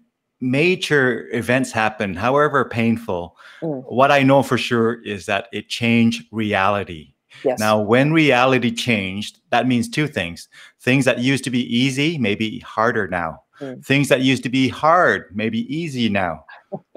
things it, Yeah. right things that may be impossible now is very possible things used to be not the things that people would think about or want or need now is a major need right i mean uh, what's the priority of the internet over the last um, you know uh, they have memes about this where they talk about you know pre-covid uh, you know uh, certain things were higher priority. Internet was very low priority on many many people's uh, right. uh, lists right? And all of a sudden with covid and all this stuff here internet speed is a very important thing that most Yeah. people think about. So that's just one example. But the idea is uh, as you mentioned there's all kinds of opportunities. Now now uh, as we to think about opportunity I- I want to maybe pause on some photos of your family here. And Sure. as you witness some of your uh, children who are grown get grown out out now Yes. but they probably perhaps see the world a little bit different than maybe you or i uh, maybe that they see some opportunity that we don't see. And uh, so let, let's just kind of look at that uh, a little bit here. I'm just going to bring that in. Tell us about uh, these uh, good looking people Well, actually, that's my husband. well he's good looking yeah, he's good uh, looking yeah, that's that's at the that, that was in Hawaii at the top of uh, Mount was it Mauna Loa, the, the one on on the Big Island. Yeah, Uh, that yeah. that that famous, uh, Yes. you know, Yeah. right? Where if you would see some science movie, Yeah. uh, you know, uh, for whatever reason, there's this movie uh, that came uh, to mind. What uh, where, where they play that song "Is the End of the World as We Know It"? And, uh, Yeah, well, and then they, they pan to that. Yeah, you feel like you are on the on the moon up on top of that place. And so we, I, I, I in my carry on, no, Uh-huh. I carried those mitts all the way to Hawaii Uh-huh. to be able to wear at the top of the mountain. And I have to have to say, you needed them. It was, uh, you know, that morning I think we were in the ocean, and and then that evening we were up there in a, uh you know minus two degrees. Yeah, one time I was, my wife and I was in uh, Hawaii, and we often go to Honolulu. But but one time we were in uh, the Big Island, and when we drove up up up to the mountain there, Yes. uh, the weather changed so much that Oh. at the bottom we were like Yeah. in shorts. At the Yeah. top we were like, okay, where's my coat? yeah, exactly. It was cold. Yeah. yeah.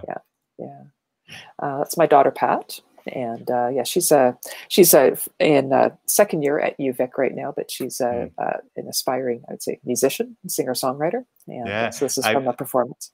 I've seen and heard some of her performances that you shared on social media. Mm, She's quite good with uh, with her craft there as well. yeah, it's uh, yeah, it's yet to be seen whether it becomes a just a uh, a hobby or something more. So we'll see. hmm hmm And this was, I think that's at, at some event, and somebody, um, uh, this fellow, he was a really cool guy. He, he was, he was always, you know, uh, he was doing one nice thing, a, a kind of random act of kindness uh, Mm. uh, every day, and uh, and he happened to be one of the first guys to buy my book at the event. So, That is Yeah. AJ. AJ, I know him. oh, oh, do okay, there we go. yeah, hey, I, try, I was trying to remember, yeah, because he was Yeah. doing a random act of kindness. That was his Yeah. whole thing. Okay. Yeah, yeah. Yeah, And if I had to guess, just because it's AJ and you there, I'm guessing this might have been in Vancouver, maybe? No? Oh, I can't remember. I can, honestly, I cannot remember. Uh, that's uh, that's my family. Uh, Yeah. My husband, my two kids, uh, Alex and Pat, Very cool. and uh, that's them some years prior to that. Uh, very cool. and uh, who's that? Gosh. Oh no, that's uh, that's just some of my girlfriends. Uh, at I, I think that just sort of it just goes to show you that the hockey team uh, goes beyond the ice. I think we were on our way to Vegas, either oh, on wow. our, either on our way or already there. I'm not sure. It looks like an airport. And did what happened in Vegas stayed in It- Las Vegas, or did you bring it home? No, pretty much. Uh, that's cool. Yeah, yeah. Oh, Uh, pirates. yeah, that's from our recent uh, our recent sailing trip, and so we Mhm. had uh, we decided to have pirate night, and Mm. uh, and so that's uh, our, our our group. As you can see, pretty fun loving group. Yeah, yeah. I'm going to switch gear a little bit as we uh, pan through some more photos Sure. here. Uh, but the gear that I want to switch back to briefly is uh, when you think about um, if somebody was to start a business tomorrow, they say, you know what, I, I have some time, I have some ideas, I'm going to start a business. With all of your experience with entrepreneurship and marketing and everything that that that I know you are quite an expert at, what might be one or two or three pieces of advice you might give somebody who is uh, wanting to start their own business? Well, I would say first off is be very clear on who it is you're serving, who's your customer, hmm and because everything else stems out of that. Um, Mhm. You know, kind of. Jane Atkinson would say, "Pick a lane." You know, know lane, who it yeah. is you serve and what it is that you do uniquely.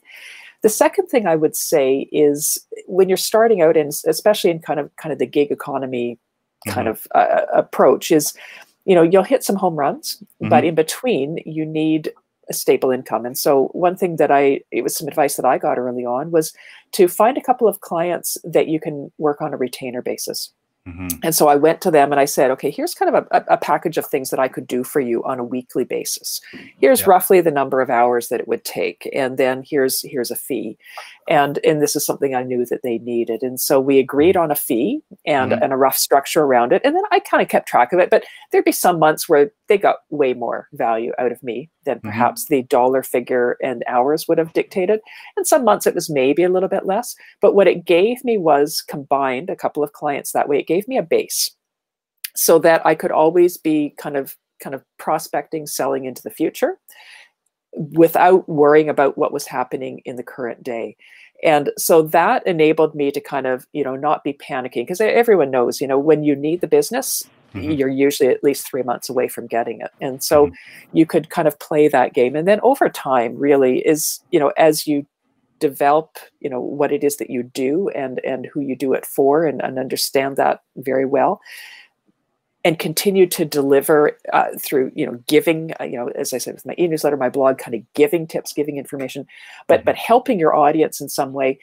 Then what kicks in is this system of referrals. And and and that's kind of where you know you've kind of hit where you want to be is that you're not constantly prospecting. In fact mm-hmm. you're you're you're just you're dealing refer- with referrals and then mm-hmm. if you get too much in one time period in terms of what you can deal with in time you're referring that business to others in your network and mm-hmm. then that finds its way back to you in those those dips and hollows. So i would say yeah those two things is get crystal clear on who you serve what it is that you do and then initially building out kind of a retainer for yourself uh, until you get sort of more solid on your feet Right, right, right. Uh, so just just a little bit of a twist on that. That's that's awesome advice. And uh, uh, if, what if somebody says, um, uh, "I can't develop the retainer quite yet. Should I be taking a part-time job while I kind of pursue this business uh, venture, and then kind of when it takes off to a certain point, then I would." Uh, quit this part-time job. Sure. What's your You know, thoughts on that? you know I, I think a lot of people do that and there's Mhm. there's there's there's no shame in doing that in fact i Mhm. think it's it's it's smart in that you you're recognizing where your obligations are and if you have Mhm. financial obligations you know that that'll be a way to do it some people jump in you know it, all in right and and for sure then you can devote all your time and energy to it um, but that can be scary right you know it's uh, you know Yeah. you're basically you're flying without a net and um, you know uh, it, really depends on your comfort level with that i know for Yeah. myself i i liked having a bit of a net Yeah. uh, I mean, the, the easiest and the most comfortable would be you're still at home and your parents are still taking care of the uh, the, the, the rent, the house, and the food. You don't have to worry about that. Well, you start that this would be- yeah, business. that would yeah, be awesome. yeah, you yeah, start this business. You have a vision. You pursue it. You pursue it.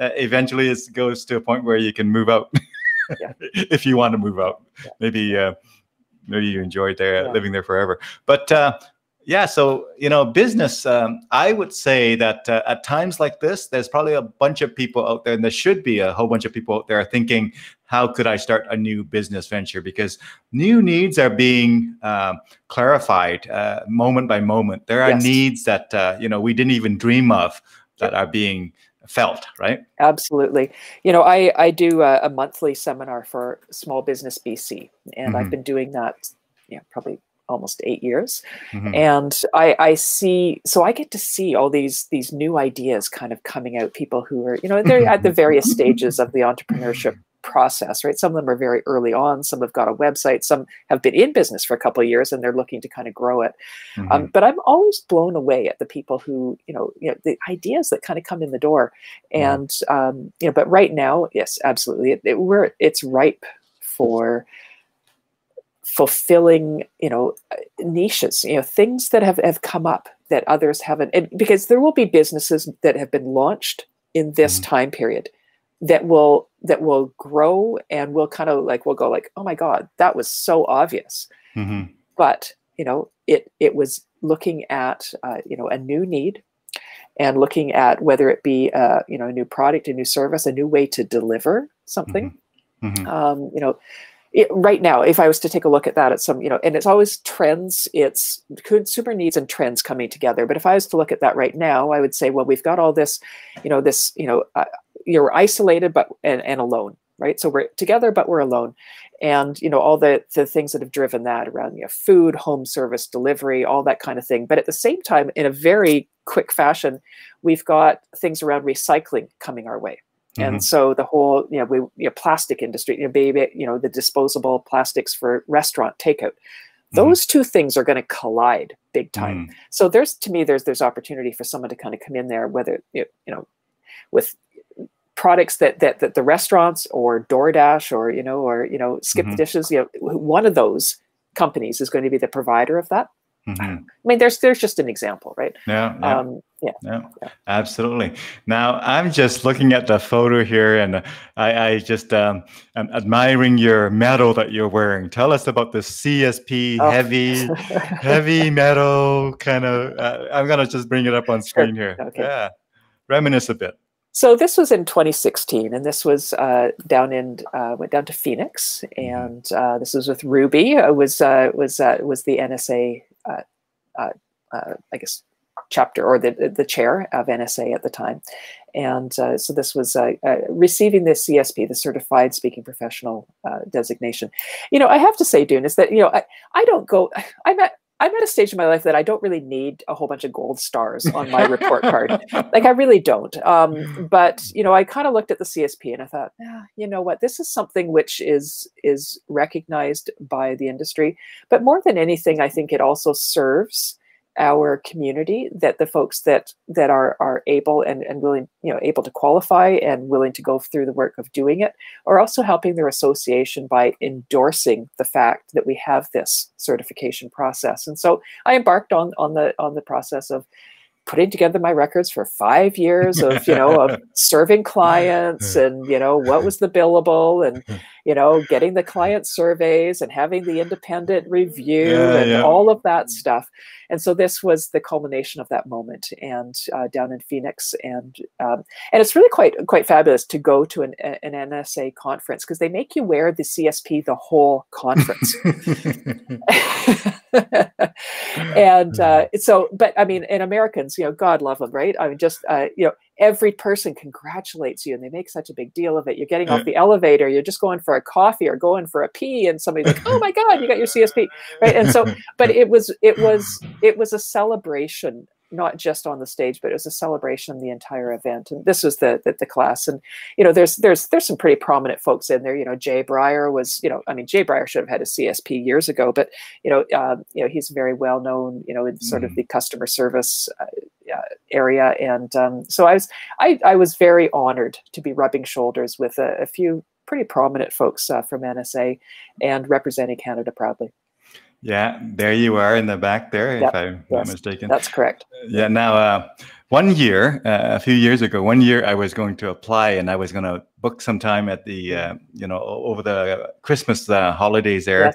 to kind of do that because I know it's kind of due early in January the application and whatnot. Yeah. And, and, some stuff happened where it took my attention away from it and I just didn't make it uh, kind of uh, that timeline. Mm. And then the next year, I just had other things going, and so it hasn't happened yet, but uh, mm. certainly something to aspire to for sure. It, it, it's a worthwhile process. It's actually quite quite fun to to reflect back on mm-hmm. kind of what you've done too, yeah, and and yeah. realize that okay, yeah, I do qualify for this. and um, the other un, I, I, hadn't really anticipated it benefit was the process of contacting, because of course you're not going to ask these clients to kind of do a rating for you without actually contacting them initially and saying, hey, remember two years ago when I did that, blah, blah, blah. And so the process of actually going, kind of combing back through your list of, of clients and the work that you have done actually kind of stirred up interesting conversations that then resulted in additional work at that at that time and that you could um, you know and and conversations around gee you know we're planning for next year's agm you know uh, we're, we're looking for potential speakers you know and and so it was that kind of conversation so that and that i hadn't anticipated that side of it mm, so yeah. that's something to remember doing Absolutely. Yeah, yeah, yeah. I will have to uh, kind of get back into that mode again here soon, but uh, life uh, got in the way in terms of all the other stuff. And uh, but uh, yeah, uh, thank you for sharing that. And uh, yeah, as we uh, round the corner on wrapping up the the the, Sure. uh, the conversation here, Mary, tell us were there topics that you wanted to share that we haven't gotten to yet? Uh, were there, uh, you know, kind of areas or insights that you want to share that we haven't Um, gotten to yet? You know, I would just, I mean, I, I, I think, I, I mean, we, we, we've dipped into the whole idea around the way marketing is shifting right now, but I think it's, it's worthy of understanding just how pivotal this moment is Mhm. uh, for marketers to get close to their customers in a world that seems to be lacking empathy. Mm. and I know we're not going to get political, but in a world that seems to be lacking empathy, I think the, the there's a huge opportunity for brands right now, businesses, you know, to kind of to have that that that that empathetic and that you know to understand what's really going on with your customers, get close to them, right? And because people are going to want to belong and Mhm. and be be part of of kind of you know belong to a brand, belong to a story, want to kind of um, you know because we've been isolated and Mm. and so there there's going to be opportunity for for companies that can kind of come alongside uh, in an empathetic way you know um, not so much that kind of go out there and create community groups but understand that those groups have been formed and that you need to be part of that conversation Mhm. you know and um, and marketing is moving into those those those sort of uh, you know less less of kind of the public realm of kind of social media facebook Mhm. instagram and a lot more into closed groups uh, direct messaging whatsapp groups all those things and you can't buy your way into those. Mhm. you have to earn the right to be part of the conversation. And i think the only way that you can really do that is by being authentic uh, helping customers having empathy uh, you know giving them something to talk about. And and maybe that really it all does kind of come back to customer service and understanding who you're serving. And i Mhm. think that's marketing in the future. It's very it's a very human approach to marketing. And uh, it's not about funnels. It's not about all that stuff um, Yeah. i think i think customers are going to crave that coming out of this Yeah, you know uh, what? Listening to what you said about the the smaller group and more uh, quote unquote private or closed group and Mhm. whatnot, just brought back really this idea of we're actually going back to the way it used to be when the world was not global. You know, you can just reach out and kind of message everybody in the world or whatever. It used to be that you were in a certain uh, local locations and whatnot, and you had uh, participation and community and relationships and influence and understanding and empathy and all of that, and that grows from there.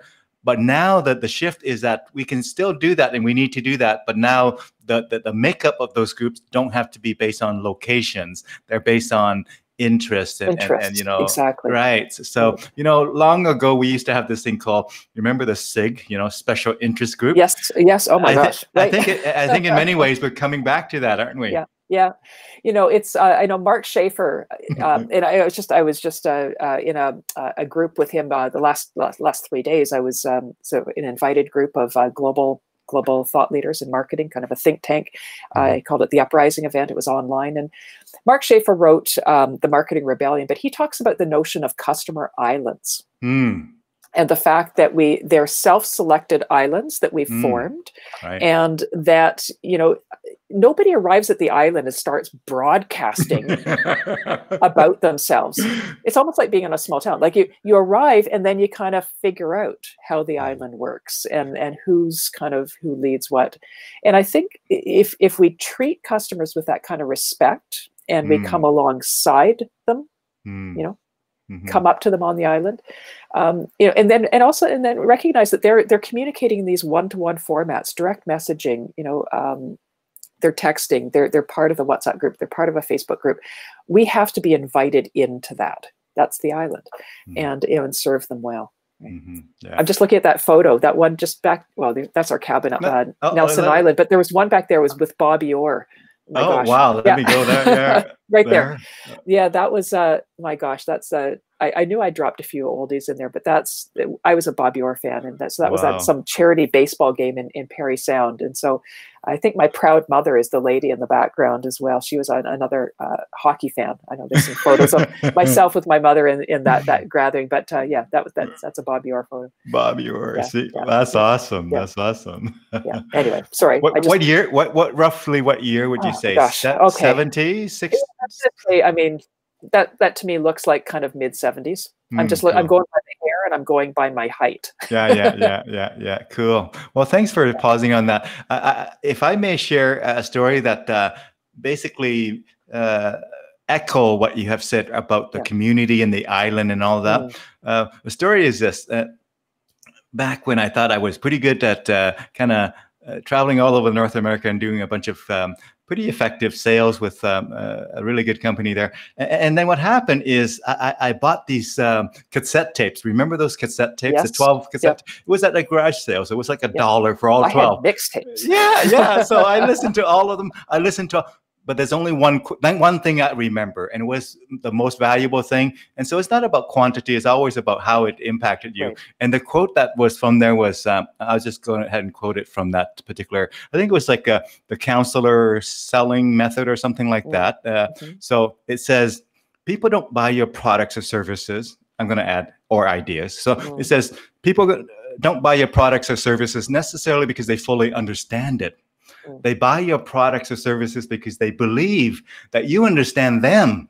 Yes. And, that quote just changed how I go about selling, how I go about uh, kind of influence. Because really, the idea is that you can't really influence anybody until they believe that you understand them. You can be so smart and so awesome, but they'll say, "But you don't understand me. You don't understand my situation. You don't understand my pain." So, so understanding is is the first step, And, I, right? and I think that that's where it all comes back to that empathy, right? That Mhm. what, what is the customer pain, right? Yeah. What and, and what is going on right now? You know, Mhm. there's a great example of and, and this and, and also then leveraging into word of mouth and uh, earned media, but understanding the customer pain. And I wrote about it in a blog post a couple a couple couple posts ago, but it was around Mount Buller in Victoria, Australia, a ski resort. I don't know if you read that one, Dune, but um, the- Mount Buller basically uh, the ski resorts in Australia. Uh, you know, Melbourne went into lockdown, and so you know a lot of the you know the competing resorts, the ones owned by Vail, had to shut down uh, after I think they were open for four days, and then they shut down. Mhm. And so they're you know the, the people who bought uh, seasons passes, you know, they were kind of out of you know kind of out of luck, and so they they weren't giving refunds, they weren't doing anything, and so Mount Buller was kind of a locally owned mountain, and so in in contrast to the way that Vail dealt with it they decided to ask their members, um, you know, what kind of refund do you think you would like? Mm, So, and and they were at, they managed to stay open for I think it was forty, a little over forty days, and mhm, so they basically said, based on your experience and based on the number of days that you you were able to ski uh, Mhm. for your pass, you tell us mm, how much refund. You know, do you do you, do you need hundred percent? Mhm. We'll give it to you. Uh, maybe 50%. You know, you tell us what based on the value. And so just by placing them, you know, themselves in the customer's shoes and Mhm. trust, I think that's a huge piece of this equation was that they trusted their customers enough as members, right? Not just Yeah. customers. They were, we trust you as a member, you tell us. Mhm. And so, yeah, you know, for sure, there'd be a few people that would take advantage of it. And, but, you know, there'd be others that would toe, kind of toe the way and help others along. And so I think the upshot of it was, is that it appeared that they were on the customer's side. Mhm. They treated them with respect. Uh, versus their competitors who were still trying to figure out, you know, how to nickel and dime people for, you know, how many days, how many hours, you know, like when did they buy their pass, you know, all this kind of stuff. And as a result, all of those people took the message and word of mouth shared it out. You know, we know that content that's created by consumers is 600% more effective because it's Mm, shared out on their own channels. So whether it be, you know, they shared it digitally or through word of mouth, mhm. and they also got a lot of earned media, which is a Mhm. huge piece of this as well. So you had the newspapers, the radio stations, you had other people who were then further amplifying the message of goodwill for the customers. And the businesses that understand how to harness that and to teach to treat their customers with respect are the ones that are really going to thrive in this kind of new world that we're finding ourselves in. Yeah, that reminds me of a story. Uh, let me tell you a brief story. So there was a time in my life when um, uh, I, I bought a lot of musical instruments. I still have lots and lots and lots of it. But but there was a time when I, I bought some and I would sell some, and haven't sold any for a long time. But but anyway, when I was selling some stuff, I remember one person came over, and you know I teach negotiation, so I know how to negotiate. But this person came over, and you know part of the thing is we always ch- chit chat a little bit, get to know a little bit about uh, whatever they want to share. So they were sharing some stuff, A- and after hearing a little bit about that, and uh, you know whatever, it was like he he said to me, um, you know, let's say it was listed whatever. Before I even offer anything, Yeah. he says, "Well, I'll, I'll sell it to you for like uh, thirty percent less." A-. And I say, "No, no, no! I want to pay you full price." So that's Right. a conversation. yeah, Well, what yeah, happened? yeah. Had I not known him, had I not, you know, kind of understand where we're at, that conversation would not have happened. We would have Right. kicked into the default negotiating kind of thing, Yeah. which means the buyer wants to pay less, the seller wants to get more. Right. But but for whatever reason, you know, we were chatting, chatting and whatnot. What it was was, um, yeah. So so we were chatting, and then because I have that background, and then he went and say, well, you know, I, I, I'll give it to you for thirty percent less than the listed price. And there I was, I could not do that. I was like, no, I got to give you a full price. I was like, so no, no, I said no full. So so you know, again, understanding is a big part of how we uh, uh, perceive things, right? right? Absolutely. Yeah. Yeah. Yeah. Now, uh, I'm going to challenge you to look at these videos or maybe think of a video. We're going to play one more video, Sure. my friend. Okay. So. Mary, I don't know if you remember. I'm going to tell you the video Okay. here. There's a cupcake warm, warm up. There's the, uh, Yeah. what is it? Ice skating on uh, Lake Louise. Lake Louise, yeah. There's the kite surfing. There's the Mary skiing. There's the, uh, Uh, uh, what is it? Uh, surfing. Uh, Okay. Yellowstone. Uh, and then there's the uh, Stanley Cupcake Hockey song, which we've seen. Okay. Oh Yeah. gosh. Um, I mean, you could you could go to uh, I don't know if we go to we could go to kite surfing. We could go to um, oh I don't know, or or the ski. The ski one. I mean, the the, the ski one is kind of fun too. That's uh, down Okay, Grouse, that's down Grouse Mountain. I let's think it was I think it was uh, somebody was trailing me, and I was just uh, it was it was actually what's significant about this one is because it was it was uh, the end of February, Yeah. and uh, then I was I was uh, away on on business, and then we were in Hawaii, and then and then everything closed down. So this is Hmm. this is probably my last ski run. Not sure. I'm hoping to get more in this winter, but uh, yeah, this was. Yeah. Uh, I think it was. Uh, yeah, just just uh, enjoying uh, a, a beautiful uh, a beautiful run down Grouse Mountain uh, overlooking Vancouver, which maybe that's that's kind of a nice way to kind of kind of end off because it, it Mm. really kind of shows that meshing of you know work work in the morning, go play in the afternoon, and uh, you know and uh, you know keep your life balanced. I've, I've got some friends that uh, would would fully endorse that, I'm sure. But uh, this was an opportunity I think I had to spend with my son and my daughter on the mountains.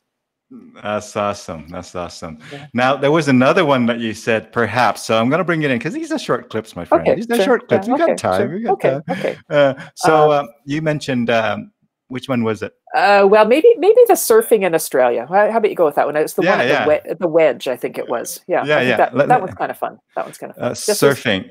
yeah, this is over in Perth. Uh, just it's a couple hours north of. Uh, Oh, I love the Perth. Yeah. music. Yeah. Oh, I I, don't hear the I don't hear the music though. Yep, Okay, give me a second. yeah, okay. Uh, let me uh, bring it back here. sure. Uh, here we go.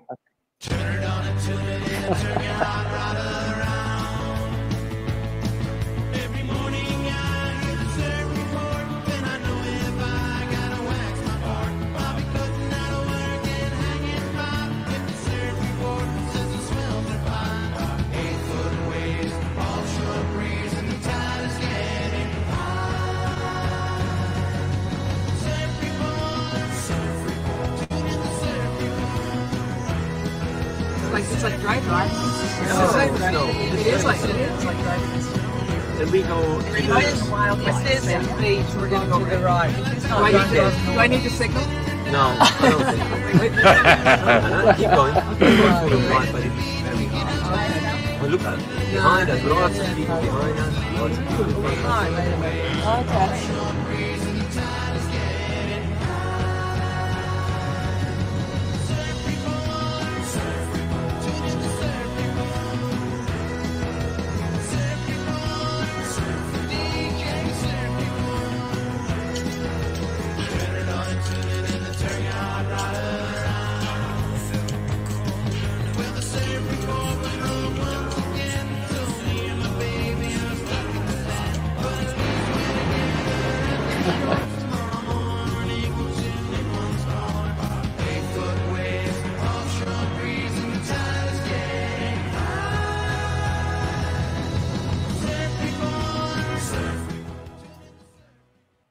Love it, love it. So with the Carry On Queen uh, Yeah. in particular, I suppose all of your travels could be business travel.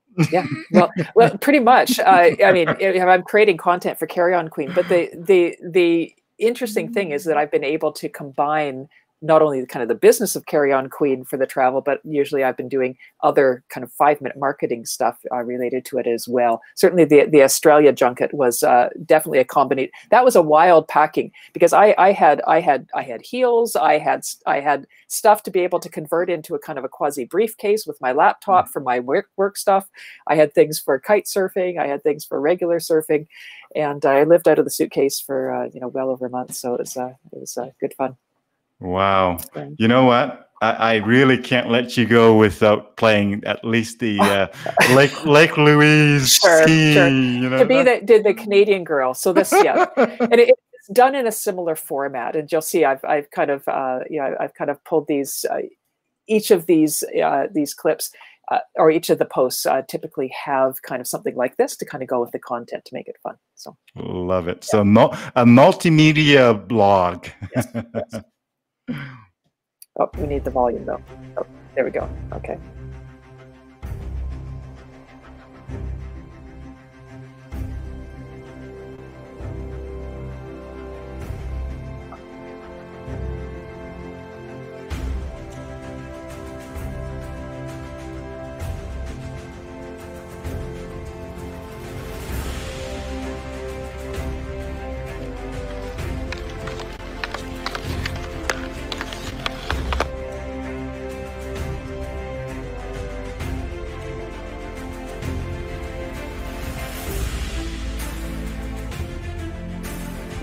Hi there, it's Mary Charleson here from carryonqueen.com, and I'm here at the beautiful Lake Louise in Alberta, and I'm here skating on the lake, which is absolutely fabulous. You can take a look out over here to that iconic shot, and I've even got my hockey jersey on here, these Stanley Cupcakes, and uh, just having a having a blast doing the iconic Canadian thing on the lake.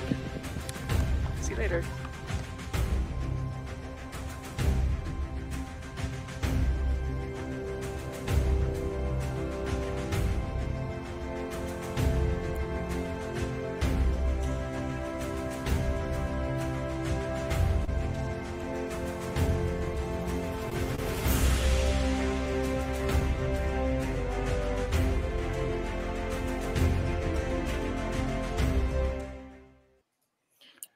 Very cool. yeah. So of course the uh, the the American client kind of ate uh, ate ate that stuff up, of course, right? Because uh, you know skating on a lake for a lot of Americans is, uh, if they're in the southern states, is uh, quite quite a different experience. And so that was a part of a, a video that accompanied uh, a post which I did with Travel Awaits.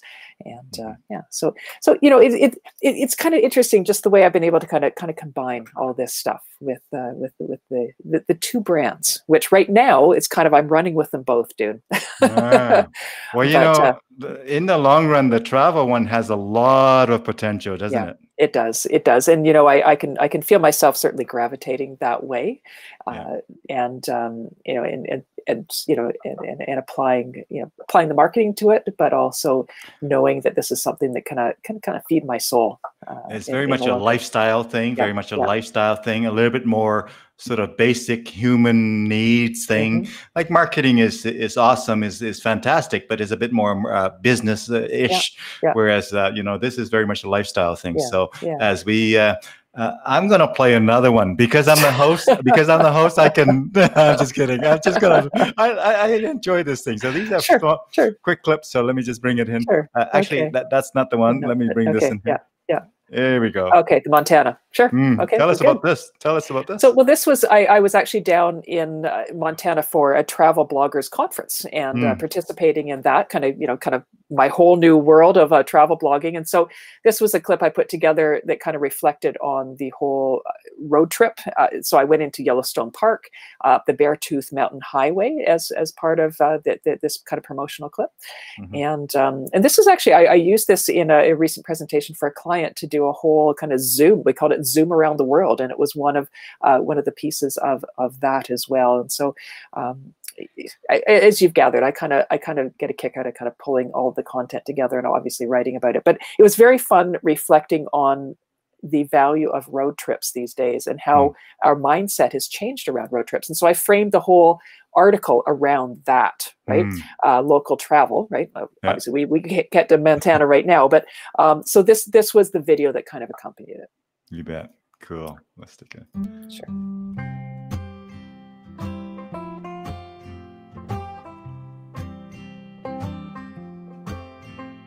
From where I am, well, I can see where I of course, I got a motorbike in there. it's a long way down, and it's one million Beautiful.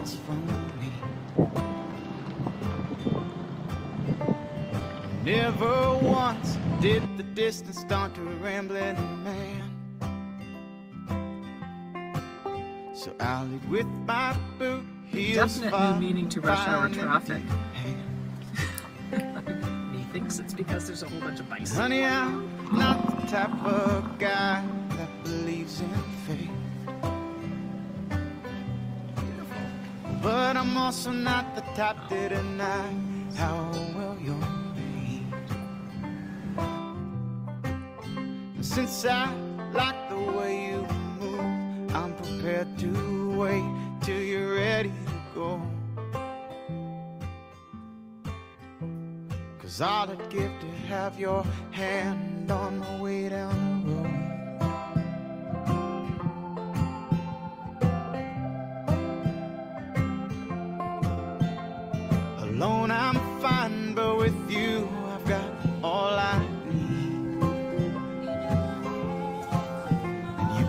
You your lovely eyes because you found that. In me.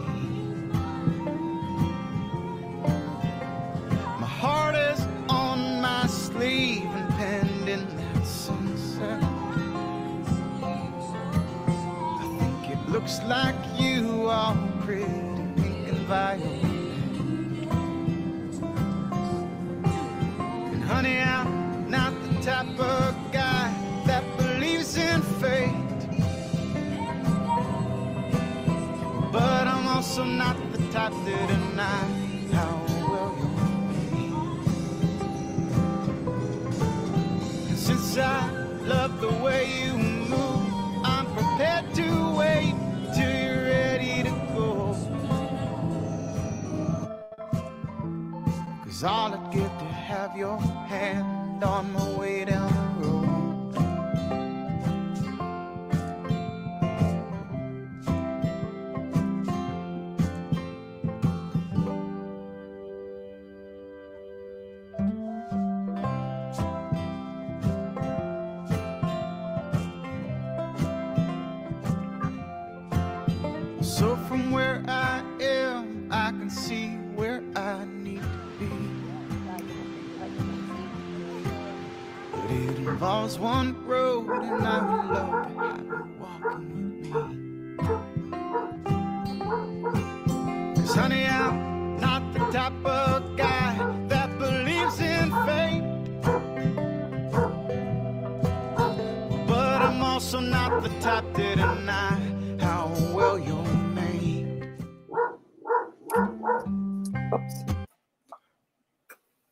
Fantastic. Sure.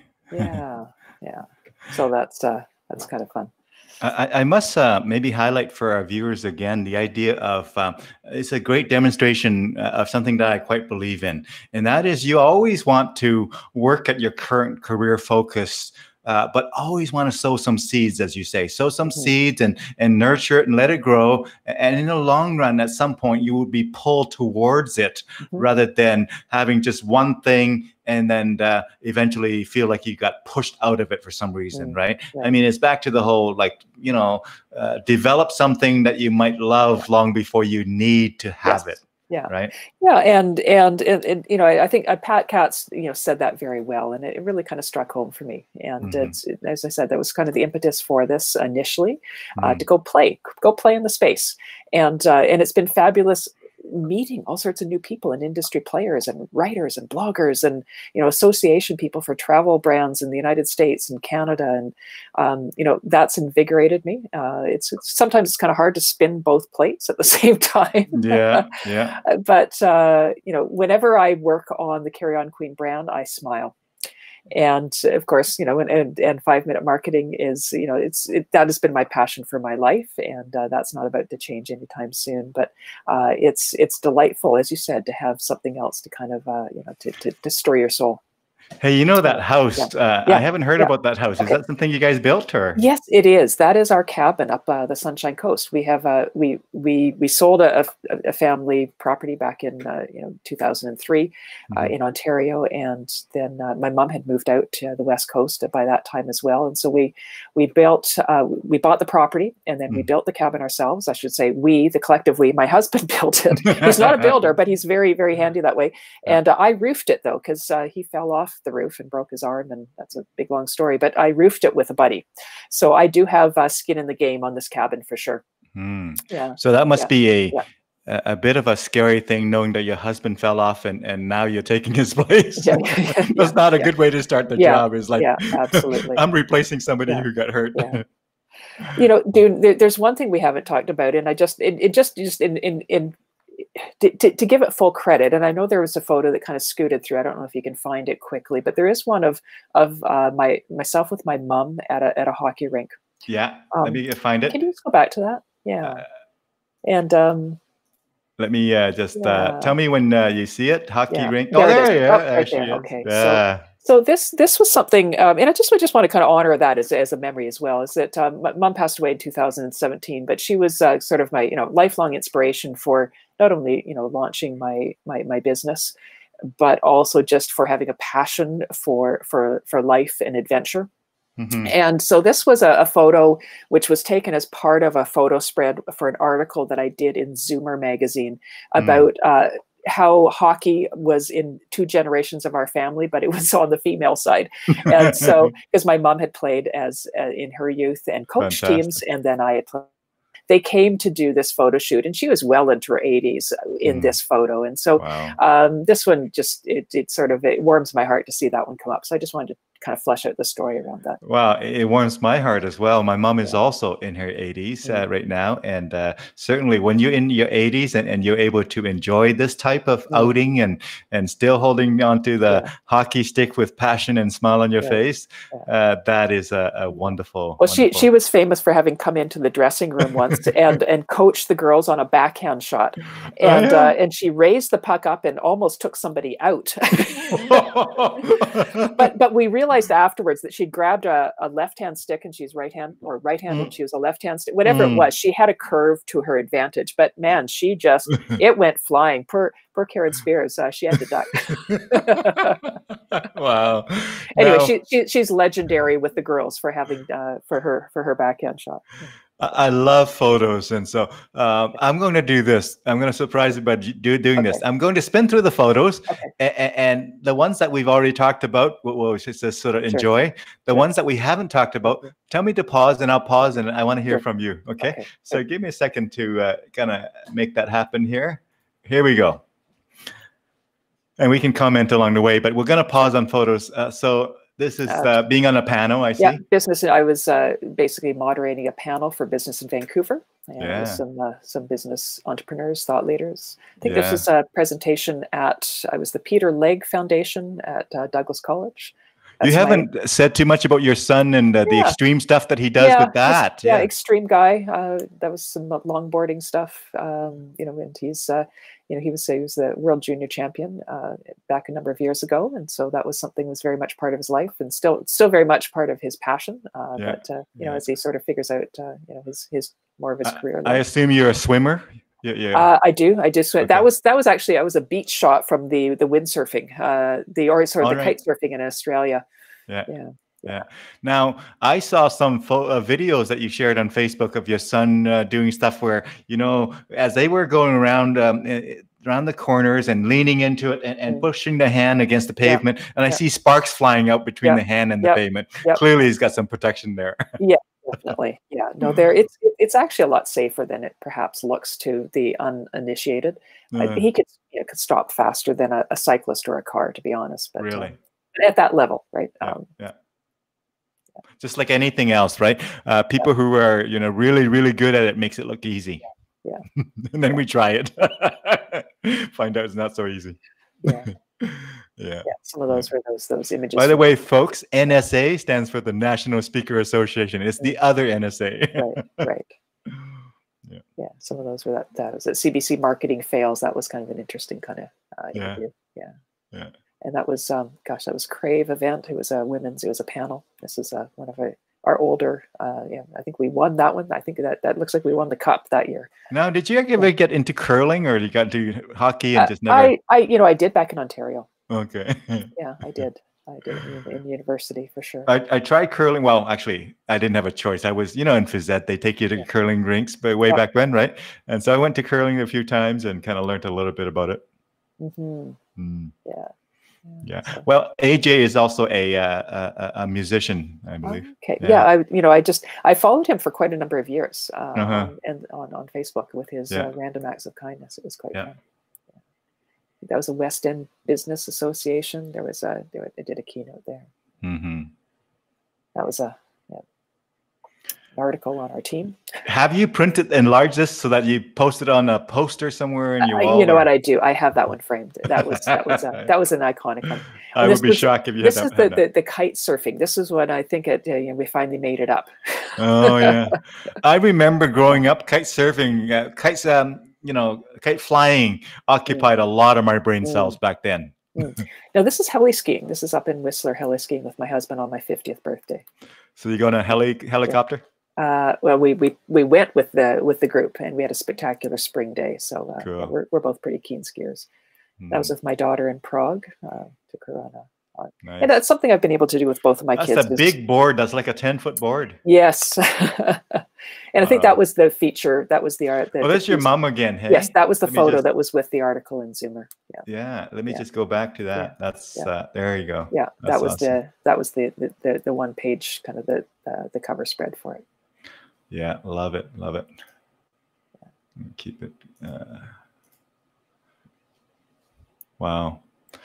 So again, the idea is uh, make sure you take time for your recreational side, and you know, lo and behold, some point your recreation may become your business, Mhm. and before too long, they mix together and they become Yeah. a lifestyle thing. Right. Yeah, and something I've even mentioned as you're sort of flashing through, there's a few photos of the kids with uh, with traveling, but in addition, obviously, to traveling with friends and, and husband and a lot independently for work, um, I've made a point of Oh. uh, traveling with both of my kids. Uh, I got to pause on this Yeah. book cover here. I, I see it, it be, behind. I think you have it behind there. Yeah. Uh, your where you're right. Yes, the product placement. right here, product, right? Product placement, word of mouth, mouse and mobile, and Right. also five minute marketing. Yeah. There you go. Product Yeah. placement uh, has go. not has not gone out of style. We're still uh, okay to do that. Yeah. Uh, so yeah. Uh, oh man, that's that's a pretty cool um, mo- mouth and uh, mouse and mobile. Very Mouth- no, It's a, it is a bit of mouthful. cool. yeah, yeah. Well, it was uh, very cool. And uh, but I think I was mentioning just the value of, of having traveled with both of my my adult children uh, Yeah. in their in their late teens, early twenties, uh, and um, and the value of, of of doing that with them and uh, encouraging them then you know to inspire a life of travel on their own.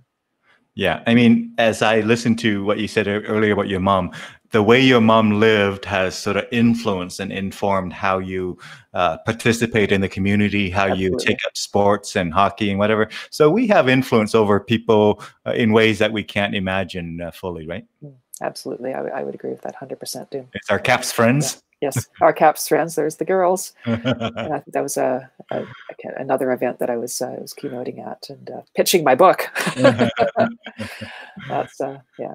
So, so I'm guessing that with, as you mentioned before, with this thing called travel, and then there's this thing called virtual, and there's this thing. Called, I'm guessing that there would be some convergence that you'll have to kind of. Uh, one day you'll probably come up with an idea of how to marry those two in such a way that it'll be very innovative, where Mhm. where you know travel in, in a virtual and hybrid, some really on site in person, some travel virtual. You're probably going to mix that into the next level with uh, what has happened here with uh, you know COVID and, and uh, I can can definitely see that, and you know, and just I mean, there's the idea of documenting travel and sharing it back, but then there's also the idea of documenting and pulling people in and i Mm-hmm. i could i could definitely see that i mean can you imagine that like you're Yeah. somewhere and you're creating the content but then you're you're saying you're pulling people in for the experience and sharing it Yeah. with them and and uh, Yeah. Yeah. In other words, the traveler can interact with people who are at home or wherever they are, traveling, quote unquote, with them,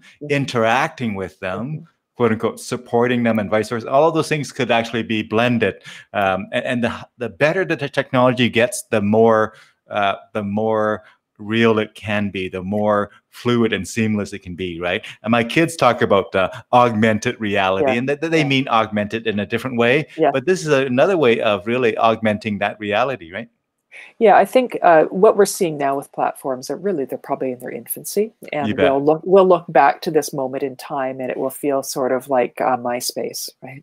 Yeah, Well, it feels Uh, like that know, first cellular yeah, phone, that first yeah, cellular it phone. will it will be that way, and so the you know the platforms that well, I mean, even this one, you know, what you're doing with uh, with the editing, uh, you know, in in stream on the fly. Um, I've seen some conference platforms. Uh, was it Remo? I think is one that's kind of interesting. I know Zoom has announced how they're going to be integrating a number of different kind of apps within the platform, and also, uh, I believe in the the U.S. Bringing in quite shortly a, a way to get payment uh, through Zoom for events. I mean, that will be a game changer Mhm. and I don't know when that'll come to Canada, but I would hope it would be shortly after the US. Hmm. So I think what we're experiencing now is very much in its infancy, and Yeah. you know, even you know, a year from now, will be fun. You know, there'll be other crazy stuff we'll be able to do with this, and and and I hope to be able to blend together, you know, Mhm. the the because I've attended a number of uh, you know and also participated as, as a speaker in a number of online conferences which have been exceptionally well done in terms of building community and building you know through the breakouts through the social activities where they, you you used to go wow how do they do that? Well they do. And you know and to be able to do that because there will be this point where we'll embrace being able to actually get back to a real live event and hug our Mm. friends. And you know, i'm looking forward to that with our CAPS folks. But you know and but we're going to want both because now we've had the taste of this we've become Yeah. i don't know about you but uh, if you become more productive right i mean i can get so much more done without Mhm. having to kind of commute in between meetings and you know and do the small talk in you know Yeah. somebody's office and Yeah. i mean i mean there's there's there's value in that but Mhm. um you know once we've had a taste of it Mhm. you know, there's going to be, it's going to take a lot to kind of get people to go, you know, even as a speaker, I look at it and I go, okay, well, here's my fee. We've kind of transferred that over for online. So if you want me live, that's going to be more Yeah, you bet. because, uh, you know, uh, because I have to take that block of time away. I have to travel. It's, um, you know, it, it's not to say there's not value in that, but I think we're going to pick and choose. Mhm. Right. You bet. I really believe that the pie is being enlarged. Yes. And then yes. there would be some proportion that are live, some portion of that is live, some portion in person. I mean, some portion of that would be, uh, you know, virtual and, and whatnot, and some would be hybrid. And, and then and just the, the whole event where, you know, it's going to be much, much bigger, but it'll be divided. It, you know, there's multiple ways to do it. You can do it uh, in person only, uh, you know, virtual only, or hybrid, uh, and and you know. Uh, Yeah. Kind of like how vehicles or cars have been, you know, made where there's a lot of options for transportation. You know, in the old days, there's only one or two ways to do transportation, and people hold on to that and say, like, that's the only way. But we have discovered that there's many valid ways to do transportation, and each with us its own challenges, uh, its own positive, right? Right? And just just everything has grown right? And even just uh, you take publicity you know earned media and publicity right? You might have previously reached out to local radio stations or your local kind of stuff or maybe gone for a national publication. I mean now you can be the expert from afar on a split screen tv Mhm. Mhm. and so all of a sudden you can be interviewed you can pitch and be interviewed on a uh, you know a, a podcast or a program in brisbane. And uh, you, you're coming in with a different global perspective. And so you know th- there's just one little piece example of uh, you know and, and doing those gigs you know I, I I- did something in india right? I and you know and it was their morning it was my late evening and you know and so i had to kind of pretend you know talk about you know good morning and i had my coffee and you know, and, um, you know and then and then they they went on with the rest of their day and you know and i wrapped it up and went and had a glass of wine with my husband right? Like it's i mean that's kind of good yeah, yeah. In other words, now we really plug in with the people based on interests Yes. rather than based on you know locations or based on organizations or uh, in other words uh, the boundaries have changed in terms of what is being, um, you know, the the pr- primary boundary setting uh, criteria are being changed, right? Yeah, but- Significantly, But there's an example uh, that that opportunity would not have been available to me right? in pre-COVID. You bet. well, you maybe bet. it would have been, but Oh, I, yeah. You know, uh, unlikely. Yeah, yeah, yeah. So wonderful. Now, so I'm going to turn it over to you, Mary, to uh, to take us out. To uh, now, you can take us out um, as I offer to many of my guests. You can sing a song if Oh, you want. I don't You- sing. you- I don't sing. can- you My can daughter play- sings. The, the, the, the musical the musical gene pool ended right there. or actually it skipped a generation. I was going to say you can play an instrument and play us a song. You can sing. You can um, uh, read us a poem. You can oh uh, summarize some uh, key thoughts. You can do anything. So, Mm. uh, but before before we do that, let me say a couple of things. One is Sure. uh, when we're done here, just hang around in the green room for a couple minutes, and I'll. I'll be there, and I will uh, give you a high five there and a virtual hug. But you know, um, folks, uh, thank you for tuning in, uh, both live and uh, you know in the recorded version here later on. If you have uh, comments or questions for Mary, feel free to put it in the comments there, and, and uh, we'll, uh, definitely get Mary to uh, look at them and and, and respond as appropriate in a in a reasonable manner, time wise. But have a great day, folks. Uh, till we meet again, uh, take good care of yourself, take good care of one another. And uh, you have been listening to Mary Charleson, and uh, who has a rich history of many diverse things. And uh, one of the key things that I got from her is that uh, you want to bring all the different aspects of life and mix it in together and really live a richer life. So, with that, Mary, take us out in any which way. No rush. Take take your time. Well, you know, as I said, I don't sing. I, I don't have a ukulele.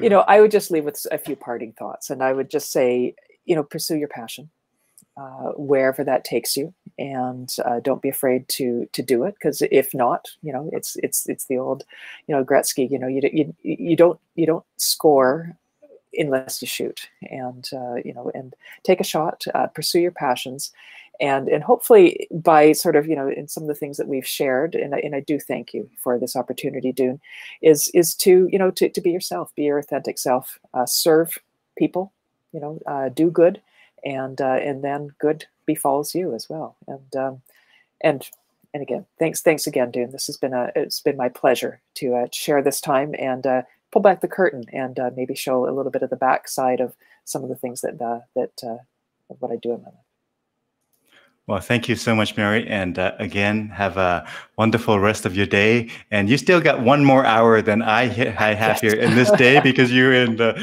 west, uh, Yes, further west yes. there, and uh, Pacific time. So uh, have a great day, folks. thank you so much Dune take care Thank you, Mary. Yeah.